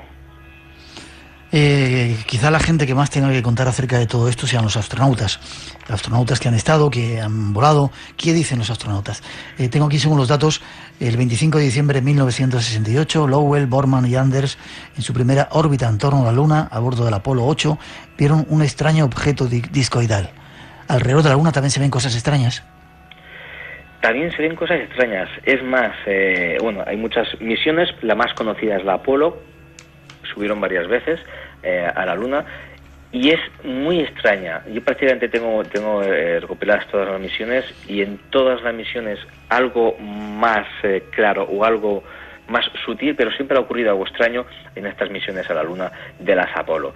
pero hay cosas mucho que no son sutiles, sino, sino que los mismos astronautas han llegado a ver y a, y a declarar que vieron algo raro. ovnis en su viaje hacia el espacio, Mm, extrañas luminescencias dentro de la cápsula eh, lunar, mm, cosas extrañas dentro de la, o sea, en el, en el, eh, sobre la superficie de la Luna, esas extrañas ondas de radio de las que antes hablábamos también, es decir, casi todas las misiones espaciales que han ido a nuestro satélite se han encontrado cosas un tanto extrañas. También no olvidemos, pasa algo raro cuando nos vamos a Marte, que casi siempre, o cuando se envían sondas a Marte, porque no, no hemos ido físicamente, pero casi siempre pasan cosas un tanto extrañas. Así que parece que cuando pasamos la barrera de la atmósfera, lo que ocurre más allá de ella pues no es, no es, no es del todo previsible. Es significativo este caso que recogíamos del Apolo 8 el 25 de diciembre, que contaba Lowell que cuando estaban, vieron el disco eh, discoidal alrededor, ese extraño objeto, los sistemas eléctricos de la nave se detuvieron durante unos instantes, descendió la temperatura y ¿qué ocurrió? La cápsula dice que se vio rodeada de una extraña luminosidad. Pues claro, el origen de esto, lo, lo, extraordinario es que nunca se supo, porque cuando se está allá arriba, lógicamente hay algunos imprevistos, algunos fallos técnicos, y a muchas de estas cosas se le da una explicación coherente, racional y científica. En este caso no. Eh, aparecieron esos extraños sonidos de radio que tanto han acompañado a los, a los astronautas en sus viajes espaciales. Y los, lo que hablábamos antes, algunos eh, radioaficionados en tierra, pudieron captar o dijeron que pudieron captar lo que serían las conversaciones de uno de los astronautas, Lovell, como bien has dicho, con, eh, con la base de control. Y, en estas eh, el astronauta les confirmaba a la, a la a control que estaba observando ruinas en la Luna. Así que tenemos un testimonio más de estas posibles o supuestas estructuras eh, artificiales en esta Luna que hoy en día aún la ciencia se está debatiendo si es también o no artificial. Eh, los datos que estamos recopilando esta noche hablan de estructuras de hasta 200 metros de altas, una especie de pista de aterrizaje de 300 metros de ancho, es decir, estructuras absolutamente gigantescas, ¿no?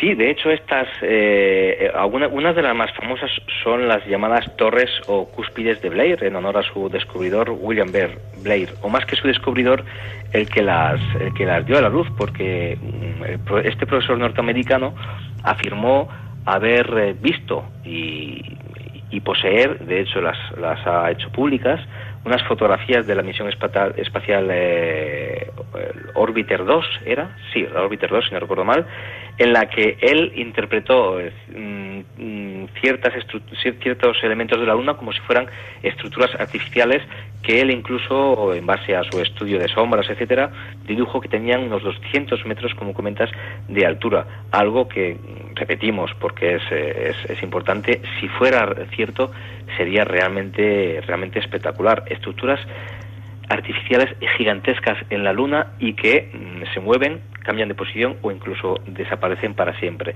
Y estas torres o cúspides de Blair pues son uno de los hechos más, eh, más conocidos porque hay unas fotos. Lo que ocurre que la NASA siempre ha rechazado estas fotos que, que, William Blair ha, mostrado al, al mundo. Eh, la NASA siempre ha negado que fueran suyas. Eh, no es ni una ni dos. En 1974 se habían descubierto sobre la superficie lunar cerca de 200 estructuras, es decir, cantidad de ellas. ¿eh? Ahí hay bastantes. Lo que ocurre que eso, que ahora mm, mm, no podemos eh, coger nuestro telescopio mm, potente y poderlas ver porque cambian de posición. Pero sí, en casos esporádicos eh, hay bastantes más de 200 y mm, muchas veces las formas se repiten. Es decir, se habla de, aunque se habla de muchas cosas, hay varios elementos que se repiten. Por ejemplo, grandes puentes o lo que son grandes eh, líneas rectas que algunos han considerado puentes y otros incluso pistas de aterrizaje, ¿verdad? Nos recuerda esto un poco a la época de, de Wondaniken con las líneas, con las líneas de Nazca. Eh, otra de las estructuras que se, que se han eh, reportado en la superficie de la Luna han sido lo que se han llamado a llamar grandes cúpulas u hongos pero algunas de ellas gigantescas. Eh, es decir, y estas quizás son las dos eh, formas geométricas que más se repiten, eh, que más repiten los testimonios que, dicen reportar estructuras de la Luna, sobre todo la de puentes o líneas rectas y estas grandes cúpulas u hongos que no saben exactamente qué puede ser, pero que de hecho algo son porque, porque los han visto numerosos científicos. Aunque también eh, el Apolo 16 fotografió algo parecido a pirámides, que es una estructura que parece que se repite no solamente en la Luna, sino parece en Marte aparte de la Tierra, ¿no? Sí, eh, habría que saber si estas pirámides también son eh, artificiales o naturales y mm, cuando son fotografiadas si se trata un juego de luces y sombras como a veces hemos visto que en efecto ha ocurrido. Es decir, no siempre lo que se fotografía una sola vez eh, es, es, es, lo que realmente nos parece ver, porque cuando las luces cambian y las sombras se mueven, aquello cambia un poco de forma. Pero en algunas eh, observaciones eh, en vivo, es decir, cuando algunos astrónomos con su telescopio han estado observando directamente el cielo de manera independiente, además, en varios puntos del planeta, han podido ver estas estructuras también piramidales, lo cual descartaría estos extraños juegos de sombras que a veces una imagen fija, una fotografía eh, hecha con un telescopio mm, nos puede ofrecer. Estamos hablando de, testimonios en vivo, no solamente con las pirámides, sino con otro tipo de, estructuras eh, o de lo que, repetimos, eh, lo que los observadores llaman estructuras, porque tienen forma de ello, pero tampoco se puede asegurar 100% que lo sean.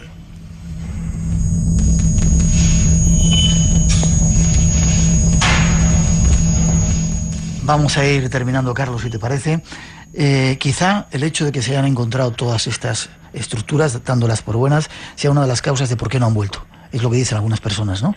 Sí, sin duda algo debió pasar, eh, mucho más allá del, recorte presupuestario porque los casos se repiten y quizás en su día no se viera tanto, pero con el paso de los años y, ya comentamos que con el paso de que la gente que entonces trabajaba en la NASA y medios eh, muy próximos a, la Agencia Espacial Norteamericana se han ido retirando, han empezado a contar y a mostrar eh, imágenes que ellos mismos habían rescatado de estas misiones espaciales. Y con el paso del tiempo hemos visto que lo que eh, entonces parecía que no ocurría nada ocurrían muchas cosas y esas muchas cosas entre sobre todo son cosas extrañas que la NASA no ha podido ni ha sabido explicar. No es que no haya querido sino yo creo que no tiene ninguna explicación para todos estos fenómenos que se les han desbordado. Es decir sus, astronautas han empezado a hablar que han visto cosas raras eh, sus trabajadores han empezado a, sacar fotografías de la NASA y mostrarlas al público fotografías en las que se veían cosas extrañas y esto a la NASA se le, se le ha escapado de las manos y hoy en día niega todo quizás en su día ya era consciente de que esto podía pasar y, decidió no subir mm, no subir más a la luna. Esto realmente nunca lo sabemos, pero algo debía ocurrir, digo, más allá del, del recorte presupuestario, porque es la excusa, la excusa de siempre, ¿no? Y evidentemente no sabemos eh, de quién podían ser esas, ruinas, ¿no? Y si estuvieran en la Luna, supongo que pegarse un salto a la Tierra que está al lado sería eh, la, cuestión más lógica, ¿no? Claro, no sabemos de quién son. Si hubiera, eh, si estas estructuras fueran reales y si cuando llegó Armstrong, el primer hombre oficial que subió a la Luna, ya había alguien allí, si esto es cierto, lo que sí está claro es que independientemente de qué es lo que fuera lo que había en la Luna, es decir, si eran, si eran hombres, si eran seres de otro planeta, sea lo que sea, eh, nos encontraríamos ante unos, uno de los sucesos eh, sin duda más relevantes de la historia del ser humano. Eh, lo que está claro es que no son restos erosionados de piedras normales, ¿no? No lo parece, porque si lo fueran, no aparecerían y desaparecerían o cambiarían de posición. Serían unas ruinas, tal como las entendemos nosotros, unos edificios, unas estructuras que se han hecho viejas y que después de ser útiles se han abandonado allí. Esto no lo parece porque mm, si fuera así, las observaciones posteriores de ese mismo punto desde distintos lugares del mundo, incluso desde eh, misiones espaciales o telescopios espaciales que ofrecen mucho más, mucha más eh, calidad, lo hubieran visto y no es así. Es decir, aparecen y desaparecen. Por lo tanto, cuando hablamos de ruinas es una palabra que es que bueno que se hizo muy famosa en su día por unos eh, por unas declaraciones de Juan José Benítez sobre todo y otras personas, pero realmente no serían ruinas como las entendemos. Serían estructuras artificiales no sé si llamar inteligentes, pero evidentemente que cambian de lugar. Por lo tanto, no eh, edificios ruinosos que están abandonados.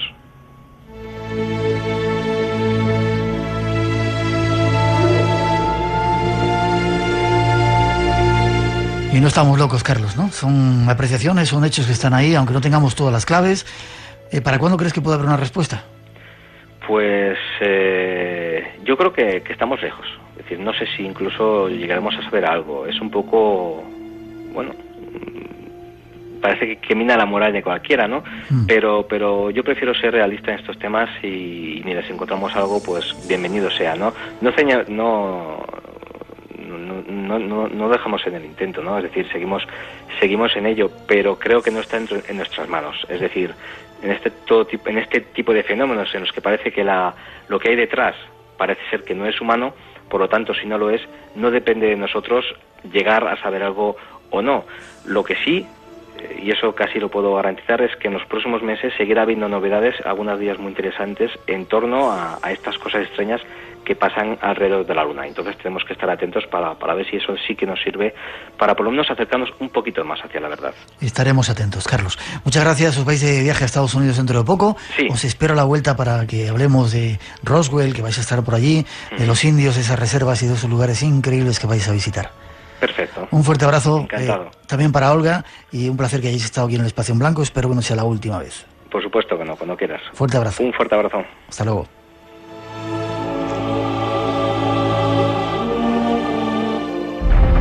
Espacio en Blanco. El fin de semana de 2 a 4 en la madrugada del sábado y del domingo. Tu cita con el misterio. Conecta con nosotros en Radio Nacional con Miguel Blanco. Bueno, todavía soy Alejandro Jodorowsky. Eh, el Alejandro se está convirtiendo en Acercandro y el Jodorowsky, el Jodo, en Amorovsky.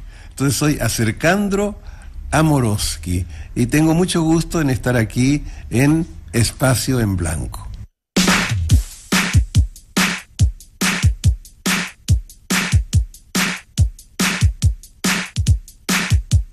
tras los saludos de Alejandro Jodorowsky, seguimos desde Barcelona. Miguel Ángel Segura, nuestro segundo y siguiente invitado, se encarga de avanzarnos una nueva iniciativa. Tras esa introducción, os damos los datos y entramos en ello.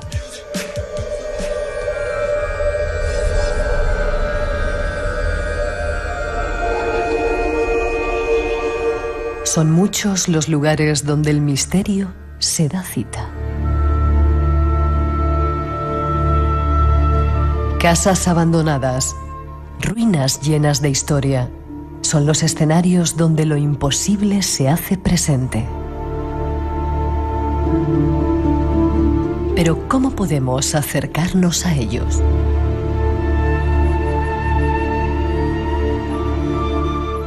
Nuestro siguiente invitado nos propone una serie de normas para tratar de investigar esos lugares donde habita el misterio.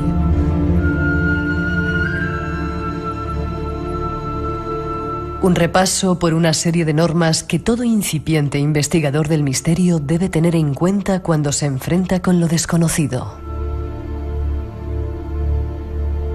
Escuchemos algunos de sus consejos. Nos pueden ser útiles si algún día nos topamos con eso que llamamos misterio.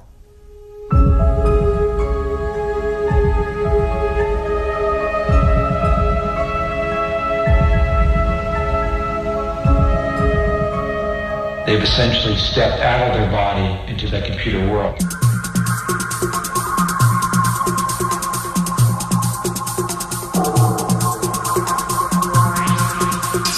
En estos primeros días del año 2012 nos veíamos sorprendidos con algunas informaciones que nos anunciaban una guía para el investigador de este mundo del misterio y nos hemos querido poner en contacto con su autor, Miguel Ángel Segura, un habitual en el espacio en blanco. Buenas noches, Miguel Ángel. Hola, buenas noches. ¿Cómo estás?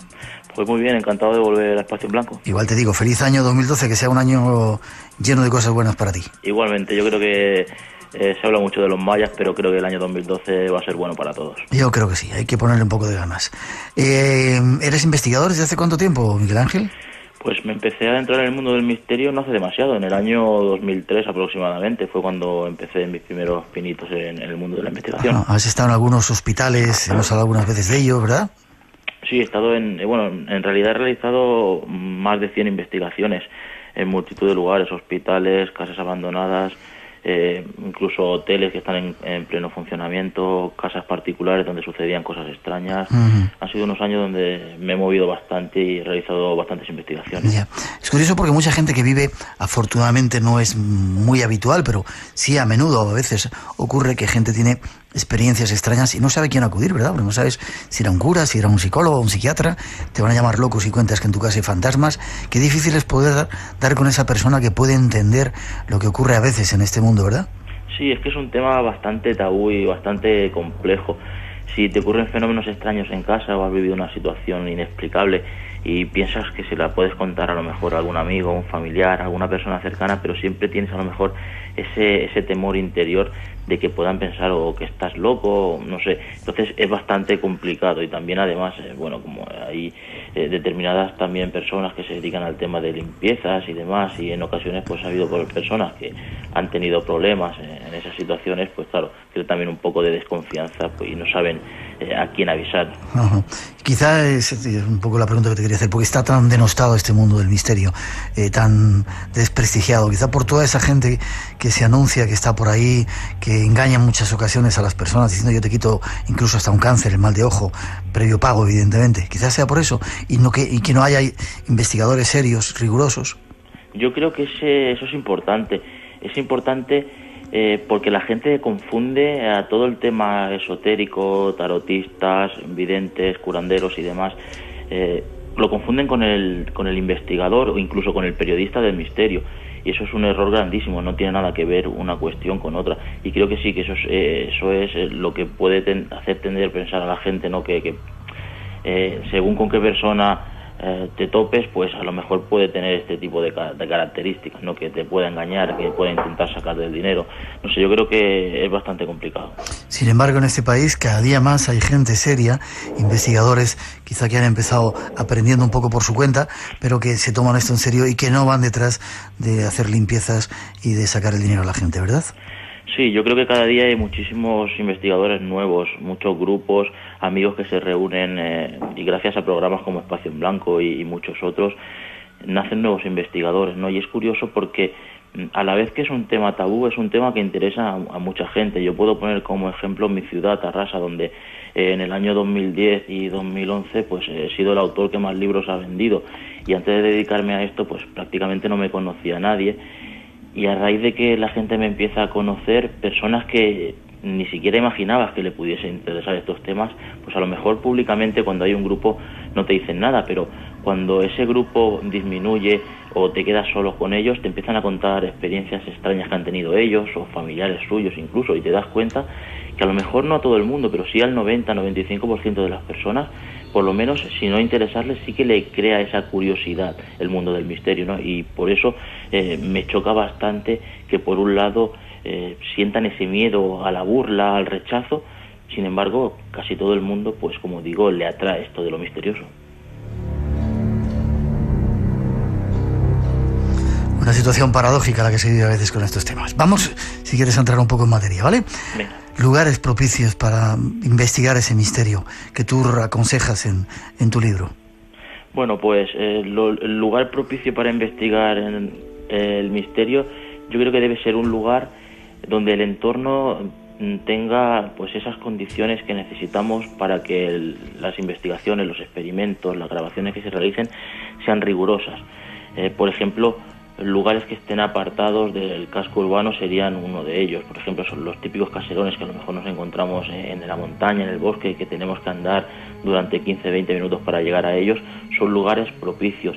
Pero también eh, cualquier enclave donde sucedan fenómenos extraños, podemos llegar nosotros a acoplarlo de alguna forma para darle esa rigurosidad. A lo mejor no siempre al 100%, porque lógicamente eh, si no es en un laboratorio o un lugar insonorizado, pues se dificulta bastante más, pero sí que podemos llegar a crear unos perímetros de seguridad que no son demasiado complicados ni costosos de, elaborar y eso nos da una fiabilidad pues eh, bastante más importante incluso en el tema por ejemplo de la grabación de psicofonías que es lo, primero que experimenta la gente cuando se adentra en el mundo del misterio Sí, decir que además son muy fáciles de conseguir, ¿verdad? Quizá ahí esté su, su peligro también, ¿no? Claro, es, es fácil de, conseguir. Eh, eh, sí, normalmente cuarta, quinta grabación ya sueles obtener alguna voz. Eh, y bueno, sí, el peligro que existe, sobre todo, mm, personalmente creo que es a raíz de las creencias que la propia persona tenga, porque la, si uno es, tiene férreas creencias religiosas, espirituales, esotéricas, eso va a hacer que de entrada todo lo que ocurra a nuestro alrededor, que sea extraño o desconocido lo asociemos a nuestras creencias. Mm. Eso nos va a sugestionar, la sugestión nos va a crear miedo y el miedo nos va a llevar a un estado emocional eh, alterado donde aparte de que vamos a dejar de ser objetivos y rigurosos, vamos a poder tener serios problemas psicológicos porque eh, podemos llegar incluso a, sufrir hasta enfermedades mentales en todos casos. Vamos un poco a la historia. Las primeras investigaciones que se hicieron en España seriamente, ¿cuándo fueron y quién, quiénes las hicieron? Bueno, las primeras investigaciones serias que se hicieron en España, el primer expediente X fue el del caso de Tócame Roque, eh, que a día de hoy pues eh, lo ha aportado o, lo ha sacado a la luz Francisco Contreras y creo que es un caso bastante interesante porque eh, incluso la, policía, la fuerza de seguridad del Estado, pues estuvieron presentes eh, en ese caso. También ha habido otros importantes como el Reina Sofía, como también el Palacio de Linares, que se quiso dar a creer que hubo fraude por, por, las famosas psicofonías, pero en realidad los investigadores que han estado investigando ese tema... Detrás había mucho misterio, ¿verdad? Claro, había muchísimo misterio. También tenemos el, caso Vallecas, que para mí el caso Vallecas es importantísimo porque nos encontramos, eh, no sé si la primera, pero sí de las primeras situaciones donde eh, la Ouija es un factor fundamental para un desenlace trágico y es que eh, cuando sucede esa sesión famosa de Ouija eh, donde ese humo del vaso se le mete a la chica en, la boca, en la nariz, según afirman incluso los propios familiares que eso es un hecho que ocurrió realmente, pues a raíz de ese momento empieza a sufrir una especie de, de situación extraña, parecía como que en determinado momento llegaba incluso a estar poseída hasta que llega a un punto determinado en que fallece y cuando fallece empiezan a suceder fenómenos extraños en la casa. ¿no? Es un, tema realmente interesante eh, y muy trágico también para que empecemos a, valorar pues eh, hasta dónde puede llegar el mundo del misterio, porque en ocasiones sí que es divertido, está entretenido, una sesión de Ouija puede ser bastante amena, pero detrás puede existir un peligro bastante serio y bastante peligroso, casi siempre a nivel psicológico pero no hay que olvidar que también el peligro físico puede estar presente en determinadas ocasiones.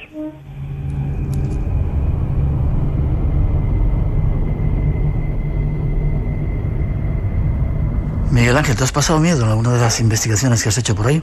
Yo he pasado miedo sobre todo al principio y bueno, luego ya con el tiempo te vas acostumbrando, ¿no? Pero al principio sí que he llegado a pasar miedo y si quieres eh, te cuento una ocasión, la primera investigación seria que realicé, pasé miedo pero lo curioso es que eh, con lo que me topé no fue una situación o una causa paranormal, sino fue algo que no tenía nada que ver con lo extraño, sin embargo... Cuéntanos. Ahí podemos ver, ¿no? La, uno puede llegar a su La sugestión, ¿verdad?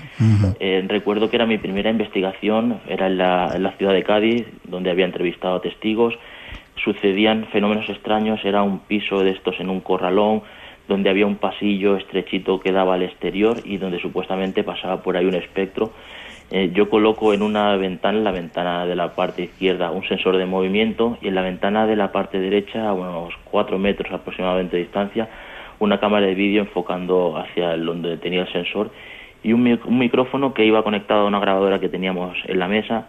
Estábamos ahí sentados y, bueno, una hora, dos horas, no pasaba nada. Y yo, ilusionado, con esas ganas de empezar a investigar, bueno, yo sí, si salta el sensor y tal, haré preguntas, para ver si responde el espectro y demás. Y en un momento determinado, cuando ya pensábamos que, estábamos a punto de recoger, que no iba a ocurrir nada, escuchamos como el sensor de movimiento pita, yo veo una especie de, sombra que pasa y en ese instante como que la sombra retrocede hacia atrás y veo un pelo gris, rizado, y en ese instante aparece la cara de una mujer, una anciana, la típica figura que te puedes imaginar cuando hablas a lo mejor de, una anciana, de brujas y demás, una cara que me impactó muchísimo.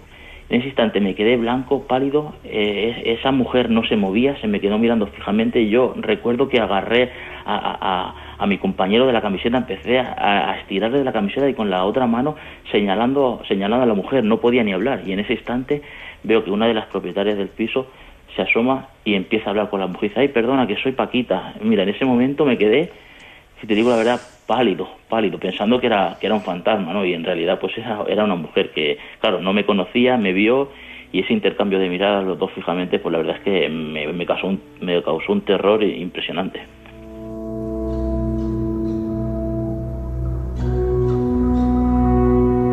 Aunque a veces esas figuras no son de aquí, te habrá ocurrido en alguna ocasión.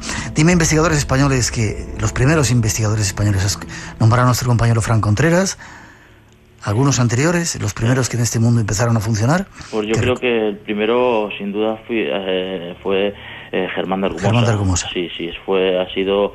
Eh, el referente para todos nosotros, ¿no? El referente. Luego han habido también muchos otros investigadores, pues Fernando Jiménez del Oso, por ejemplo, Sinesio Darnell en el tema de las psicofonías. Ha habido muchos investigadores españoles que yo creo que han sido todo un referente y los cuales han dejado mucho trabajo realizado a lo largo de estos años de los cuales pues tenemos que, aprender. Lo bueno es que hay mucha gente detrás, nuevas generaciones que se van sumando a este mundo y que están abriendo ese camino en este, en este espacio de, del misterio. Dime, ¿es peligroso todo esto, meterse en este asunto? Hay que andar con cuidado, ¿verdad? Hay que andar con cuidado, sobre todo eh, a nivel eh, psicológico, como comentaba antes, porque el mayor peligro lo encontramos ahí. El ser humano por naturaleza tiene eh, miedo a lo desconocido y el mundo del misterio pues es eh, posiblemente uno de los mundos más desconocidos que existe. Por lo tanto, el peligro vendría básicamente ahí y también, como comentaba antes, pues relacionado con las creencias. Eh, igual insisto demasiado en el tema, ¿no? Pero es que yo creo que se, en, ocasiones no se le da el valor ¿no? que se le tiene que dar a esto de, los peligros que uno arrastra a través de, a través de las creencias y es importantísimo porque te pondré, por ejemplo, eh, como ejemplo, el, tema de la Ouija, según eh, la mayoría de religiones, creen que lo que se manifiesta a través del tablero son demonios. Si uno tiene una creencia férrea en, en una religión concreta, pues va a pensar que se está comunicando con un demonio. Y eso te puede llegar a hacer daño, ¿verdad? Claro, eso te puede llegar a hacer daño a nivel psicológico. Formas de protegerse, a punto de terminar. ¿Cómo se protege uno cuando va a uno de estos lugares? Pues yo creo que para protegerse eh, la única fórmula que existe es eh, empezar desde el principio eh, realizando investigaciones diurnas. Si uno, por ejemplo, tiene que evitar eh, la sugestión al máximo, y al principio en el manual lo comento, no es imposible evitar la sugestión, no vamos a sugestionar y tampoco nos tenemos que preocupar en exceso, pero sí que tenemos que intentar controlarla. Si, por ejemplo, nos dan miedo las alturas, no vayamos a investigar a un rascacielos, por ejemplo, ¿no? investiguemos de día, acompañado por el máximo de personas posibles poco a poco tenemos que ir avanzando un peldaño más y poco a poco llegaremos a poder investigar en un lugar a altas horas de la noche, incluso adentrándonos solos en, ese enclave, pero tampoco vamos a intentar hacerlo desde el primer día. Tenemos que ir poco a poco, paso a paso. Con información y conocimiento y como si fuera un camino de evolución. Eh, quizá la última pregunta, mucha gente nos ha demandado qué son eso de los orbes que aparecen en multitud de fotografías, esa especie de esferas eh, transparentes que a veces por dentro se adivinan que tienen alguna figura. ¿Qué son? ¿Polvo? ¿Qué, es eso? ¿Espíritus? ¿Energías? Mm, hay varias teorías, hay personas, eh, y es curioso porque el que defiende una teoría la, defiende de, de, una forma férrea, no extrema. Y eso me llama mucho la atención, no sé por qué en el tema de las orbes pasa eso y puede ser, según una teoría, dicen que son energías, eh, seres, porque algunas tienen rostros o símbolos en su interior. Sin embargo, para otras personas eh, creen que simplemente es polvo. Yo soy de la opinión de que las orbes, eh, en su mayoría, en el 99%, sí que son polvo. Y a lo mejor esa, en ocasiones son de colores verdes, amarillas, rojas, naranjas. Eso puede ser porque a lo mejor al lanzar el, el flash eh, la luz mm, puede rebotar en algún objeto, en alguna pared, en alguna zona concreta y darle ese, al reflejar el flash, pues le da ese color. Y lo de los símbolos dentro, las caras, yo creo que es una pareidolia, porque he realizado experimentos utilizando, por ejemplo, un pulverizador con agua, con productos químicos, y la, también aparecen esos rostros o esos símbolos en el interior. No sé, es algo que me llama mucho la atención y que es misterioso. Lo que pasa, Miguel Ángel, hay veces que haces una fotografía en un lugar, sale un montón de orbes, tiras al milésima de segundo otra en ese mismo sitio y no sale nada. Con lo cual es el tema de, eso dicen algunos investigadores, ¿eh? el tema de eso del polvo es un poco cuestionable. Pero dejémoslo ahí, habrá que seguir investigando, ¿no? Sí, de verdad es que es bastante, bastante curioso por eso que comentas. Eh, pero claro, eh, a mí lo que me choca bastante es que si son casi idénticas a lo que es el polvo, no sé, cómo es que algo, alguna energía o algún ser puede adoptar esa, esa forma, no sé, me llama mucha atención, cuanto menos es un tema que creo que está muy poco investigado a día de hoy y que en próximos años va a dar mucho que hablar.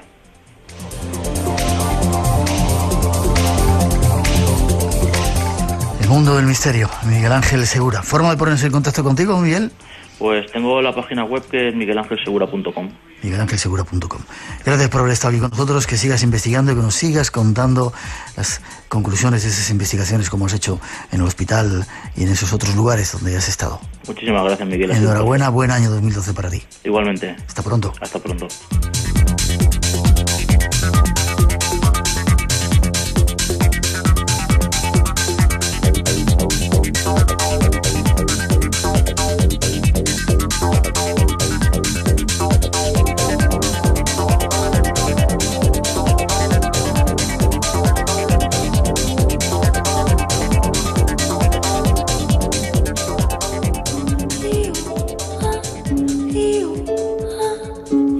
Espacio en blanco. Mucho más de lo que puedas imaginar con Miguel Blanco.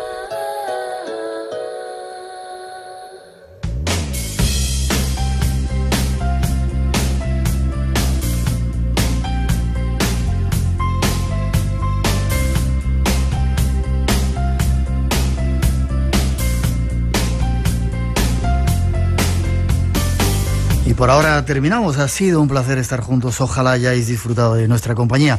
Las gracias en nombre de todo el equipo y las gracias a Santiago Francia, que llenó de frescura estos programas especiales del Espacio en Blanco aquí en verano.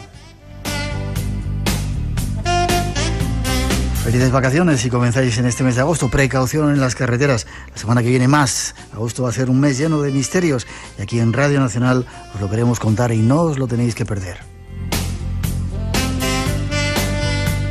Feliz fin de semana, feliz semana. Os esperamos en seis días aquí en vuestra casa, en Radio Nacional. Y mientras tanto, nuestro email, espacio en blanco arroba rtve.es o nuestro muro de Facebook, entrando, estáis, buscáis el espacio en blanco y ahí estamos. Y ahora con la invitación a que sigáis aquí en esta casa, en esta sintonía, en Radio Nacional, hasta las 4 os dejamos con un poquito de nuestra mejor música. Ha sido un placer. Nos vemos, cuidaros.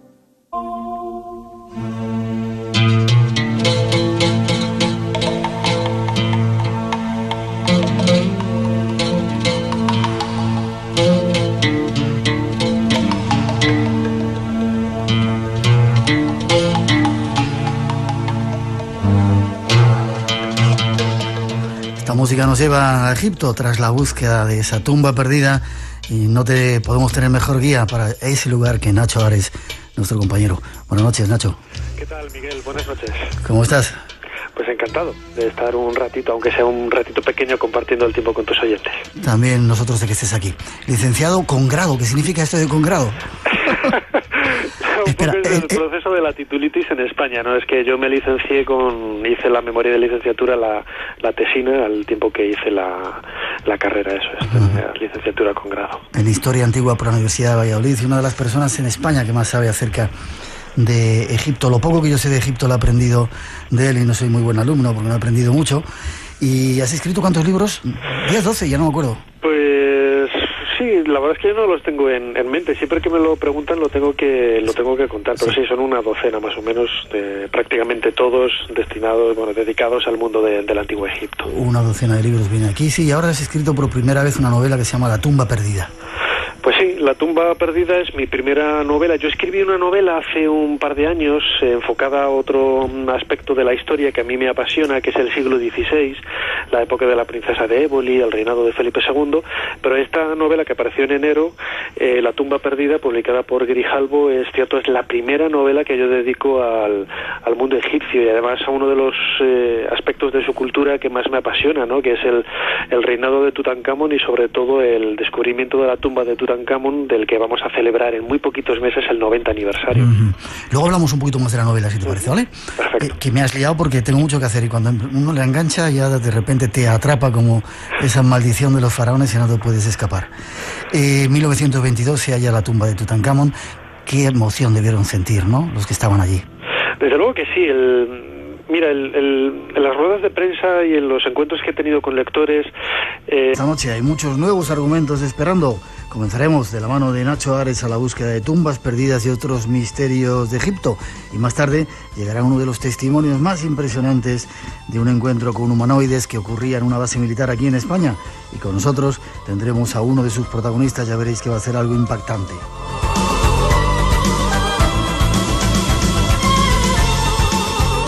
Una que otra sorpresa más el email que funciona, por si queréis entrar en contacto con nosotros, espacio en blanco arroba rtv.es y nuestro muro de Facebook con los saludos para todos los que estáis ahí y los saludos de Santiago Francia, nuestro técnico que esta noche controla nuestro mágico sonido.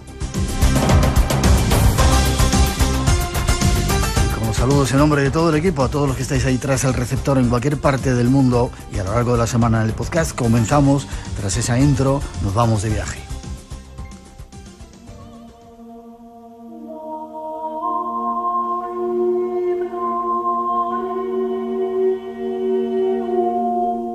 1922. El arqueólogo Howard Carter está en la cumbre de su carrera tras haber revelado al mundo el hallazgo más importante sobre el antiguo Egipto, la tumba de Tutankamón, el faraón niño. Sin embargo, su instinto, guiado por la inscripción de una lasca de piedra caliza, le dice que el Valle de los Reyes esconde otro sepulcro importante un lugar que se selló con sangre y que tal vez no debería ser profanado. Así comienza parte de la historia que ahora deseamos contaros. Sucede en Egipto, ese país lleno de sorpresas. Ese lugar donde aún se encuentran ocultas cientos de tumbas, de templos, quizás hasta de pirámides.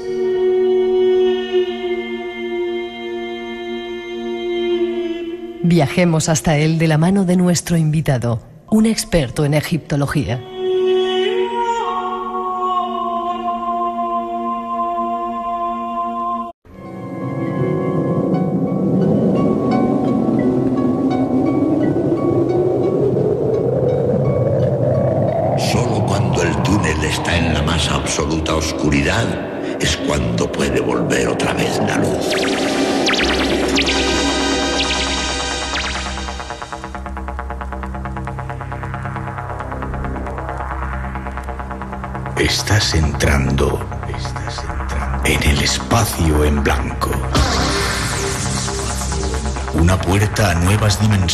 De la existencia.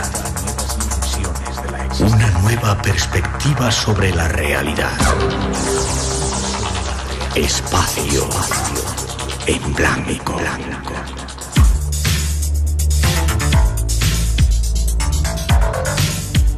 Una producción escrita y dirigida por Miguel Blanco.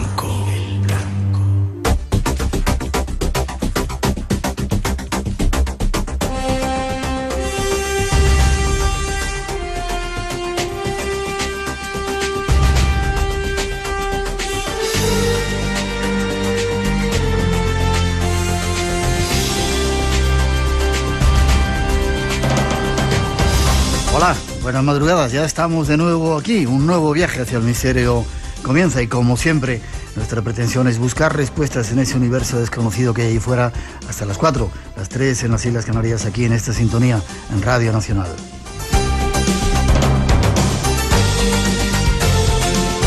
Esta es nuestra segunda cita del programa, a punto de finalizar el mes de julio y como siempre lo que deseamos es compartir este rato en la madrugada, dispuestos para con vuestra ayuda llenar este espacio en blanco que ahora se abre.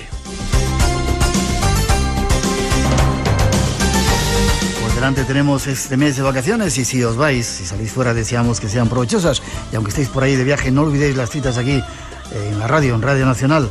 Dicen que el verano es un buen momento para escuchar la radio, para disfrutar de la radio y a ellos vamos a invitar en las próximas semanas con programas especiales que no debéis perderos.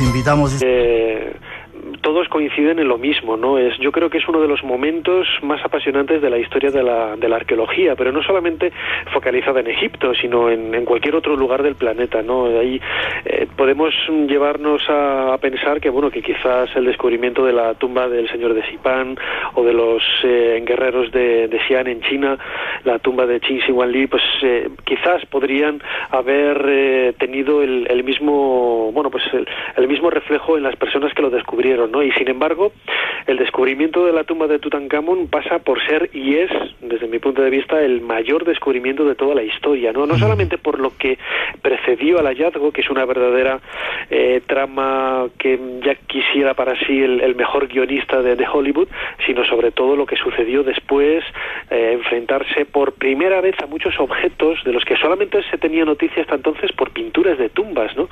Es quizá uno de los eh, de los mejores logros, logros que tuvo Carter, Encontrarse con objetos de la vida cotidiana, objetos que habían sido utilizados en vida por un faraón que solamente en muchas ocasiones se conocían pues por dibujos de, de tumbas o en papiros, etcétera, ¿no? Eh, todo lo que se encontró en esa tumba, medio museo casi del Cairo de, de antigüedades está lleno de lo de ese, lo que había en esa tumba y era un faraón de tercera categoría, ¿no? Casi Tutankamón, de segunda división. Sí, hombre, de, llamar a un rey así de segunda división sí, quizás es, es un poco... Es un poco feo. Falta de respeto, lo siento, Tutankamón. poco no, pero sí que sí que no vas desencaminado en el sentido de que eh, hay que pensar que estamos en un momento muy concreto de la historia de Egipto, más o menos a mediados del siglo XIV, el 1330 por ahí, antes de, nuestra era, en el que acaba de desaparecer Akenatón, el faraón hereje, Amenofis IV, y que el clero de Amón lo que hace es recuperar otra vez el poder que había perdido en, durante el reinado de, Amenofis IV, ¿no? Eh, eh, sube al trono siendo apenas un niño de 10 años y desaparece de, del trono pues con 18, ¿no? Grosso modo, más o menos. Mm. Tampoco podemos perfilar mucho más allá. Y es un, es un periodo de tiempo relativamente pequeño, apenas una década, del que tenemos muy poca información, al igual que del reinado de su supuesto padre, Akenatón, precisamente por esto que acabo de decir, es que no hay información de nada. Es decir, no sabemos ni dónde nació, ni quién fue realmente su padre, ni su madre, dónde nació, por qué, cuál era la, la razón por la que él llegó al, al, trono de Egipto y sobre todo muchos de los eh, aspectos de, de, la vida política o de los actos que, que, se desarrollaran en su reinado son todavía un misterio porque no hay ni una fuente histórica que nos hable de ello. ¿no? Pero eso, eh, una tumba de un faraón más o menos, bueno, normalito, ¿cómo sería o cómo será si no se ha encontrado todavía la tumba de Ramsés, de alguno de los Ramsés, ¿no? O de Keos. Por ejemplo, eso es lo que decía Howard Carter, ¿no? Que si en una tumba pequeña, porque tú la conoces muy bien, es la, quizás una de las más pequeñas que hay en el Valle de los Reyes, eh, había todos esos tesoros, casi 7.000 objetos, pues que no podría haber en tumbas de soberanos que tuvieron un desarrollo eh, del reinado muchísimo más largo en el tiempo, como Ramsés II, por ejemplo, que, que reinó 6-7 décadas y sobre todo, claro, lleno de, de objetos en un... eh, pues imaginamos que con una fastuosidad y con una sofisticación y una elegancia igual o mayor de la que podemos encontrar en la tumba de Tutankamón, ¿no? Hay mucho todavía, muchos faraones o muchas tumbas por descubrir. ¿Se, se puede llegar a, a saber el número de las que faltan? Pues mira, mm, yo creo que sí. Y si nos centramos, por ejemplo, en el ámbito de, de la novela, el, el Valle de los Reyes, que es el lugar donde se desarrolla la, la historia, eh, cuando apareció publicada en enero, la misma semana en que, en que salía a la venta, en el Valle de los Reyes se daba a conocer el descubrimiento de una nueva tumba, la KV64, una tumba de la dinastía 22, más o menos de, del 700 antes de, de nuestra era, perteneciente a una cantora de, de Amón y que, y que bueno que nos demuestra una vez más que, todavía es mucho lo que queda por, por descubrir, ¿no? Hay en, ocasiones, eh, hablándolo con, con, algunos arqueólogos, por ejemplo John Romer, un, arqueólogo inglés que ha trabajado durante muchísimas décadas en, en el Valle de los Reyes, él me decía, eh, mira Nacho, la única manera que tenemos de saber cuántas tumbas quedan en el Valle de los Reyes es quitar todos los escombros que hay y, y sacar los agujeros a la luz, porque es que eh, hay que pensar que en los dos últimos siglos es un lugar en donde se ha estado excavando continuamente, pero en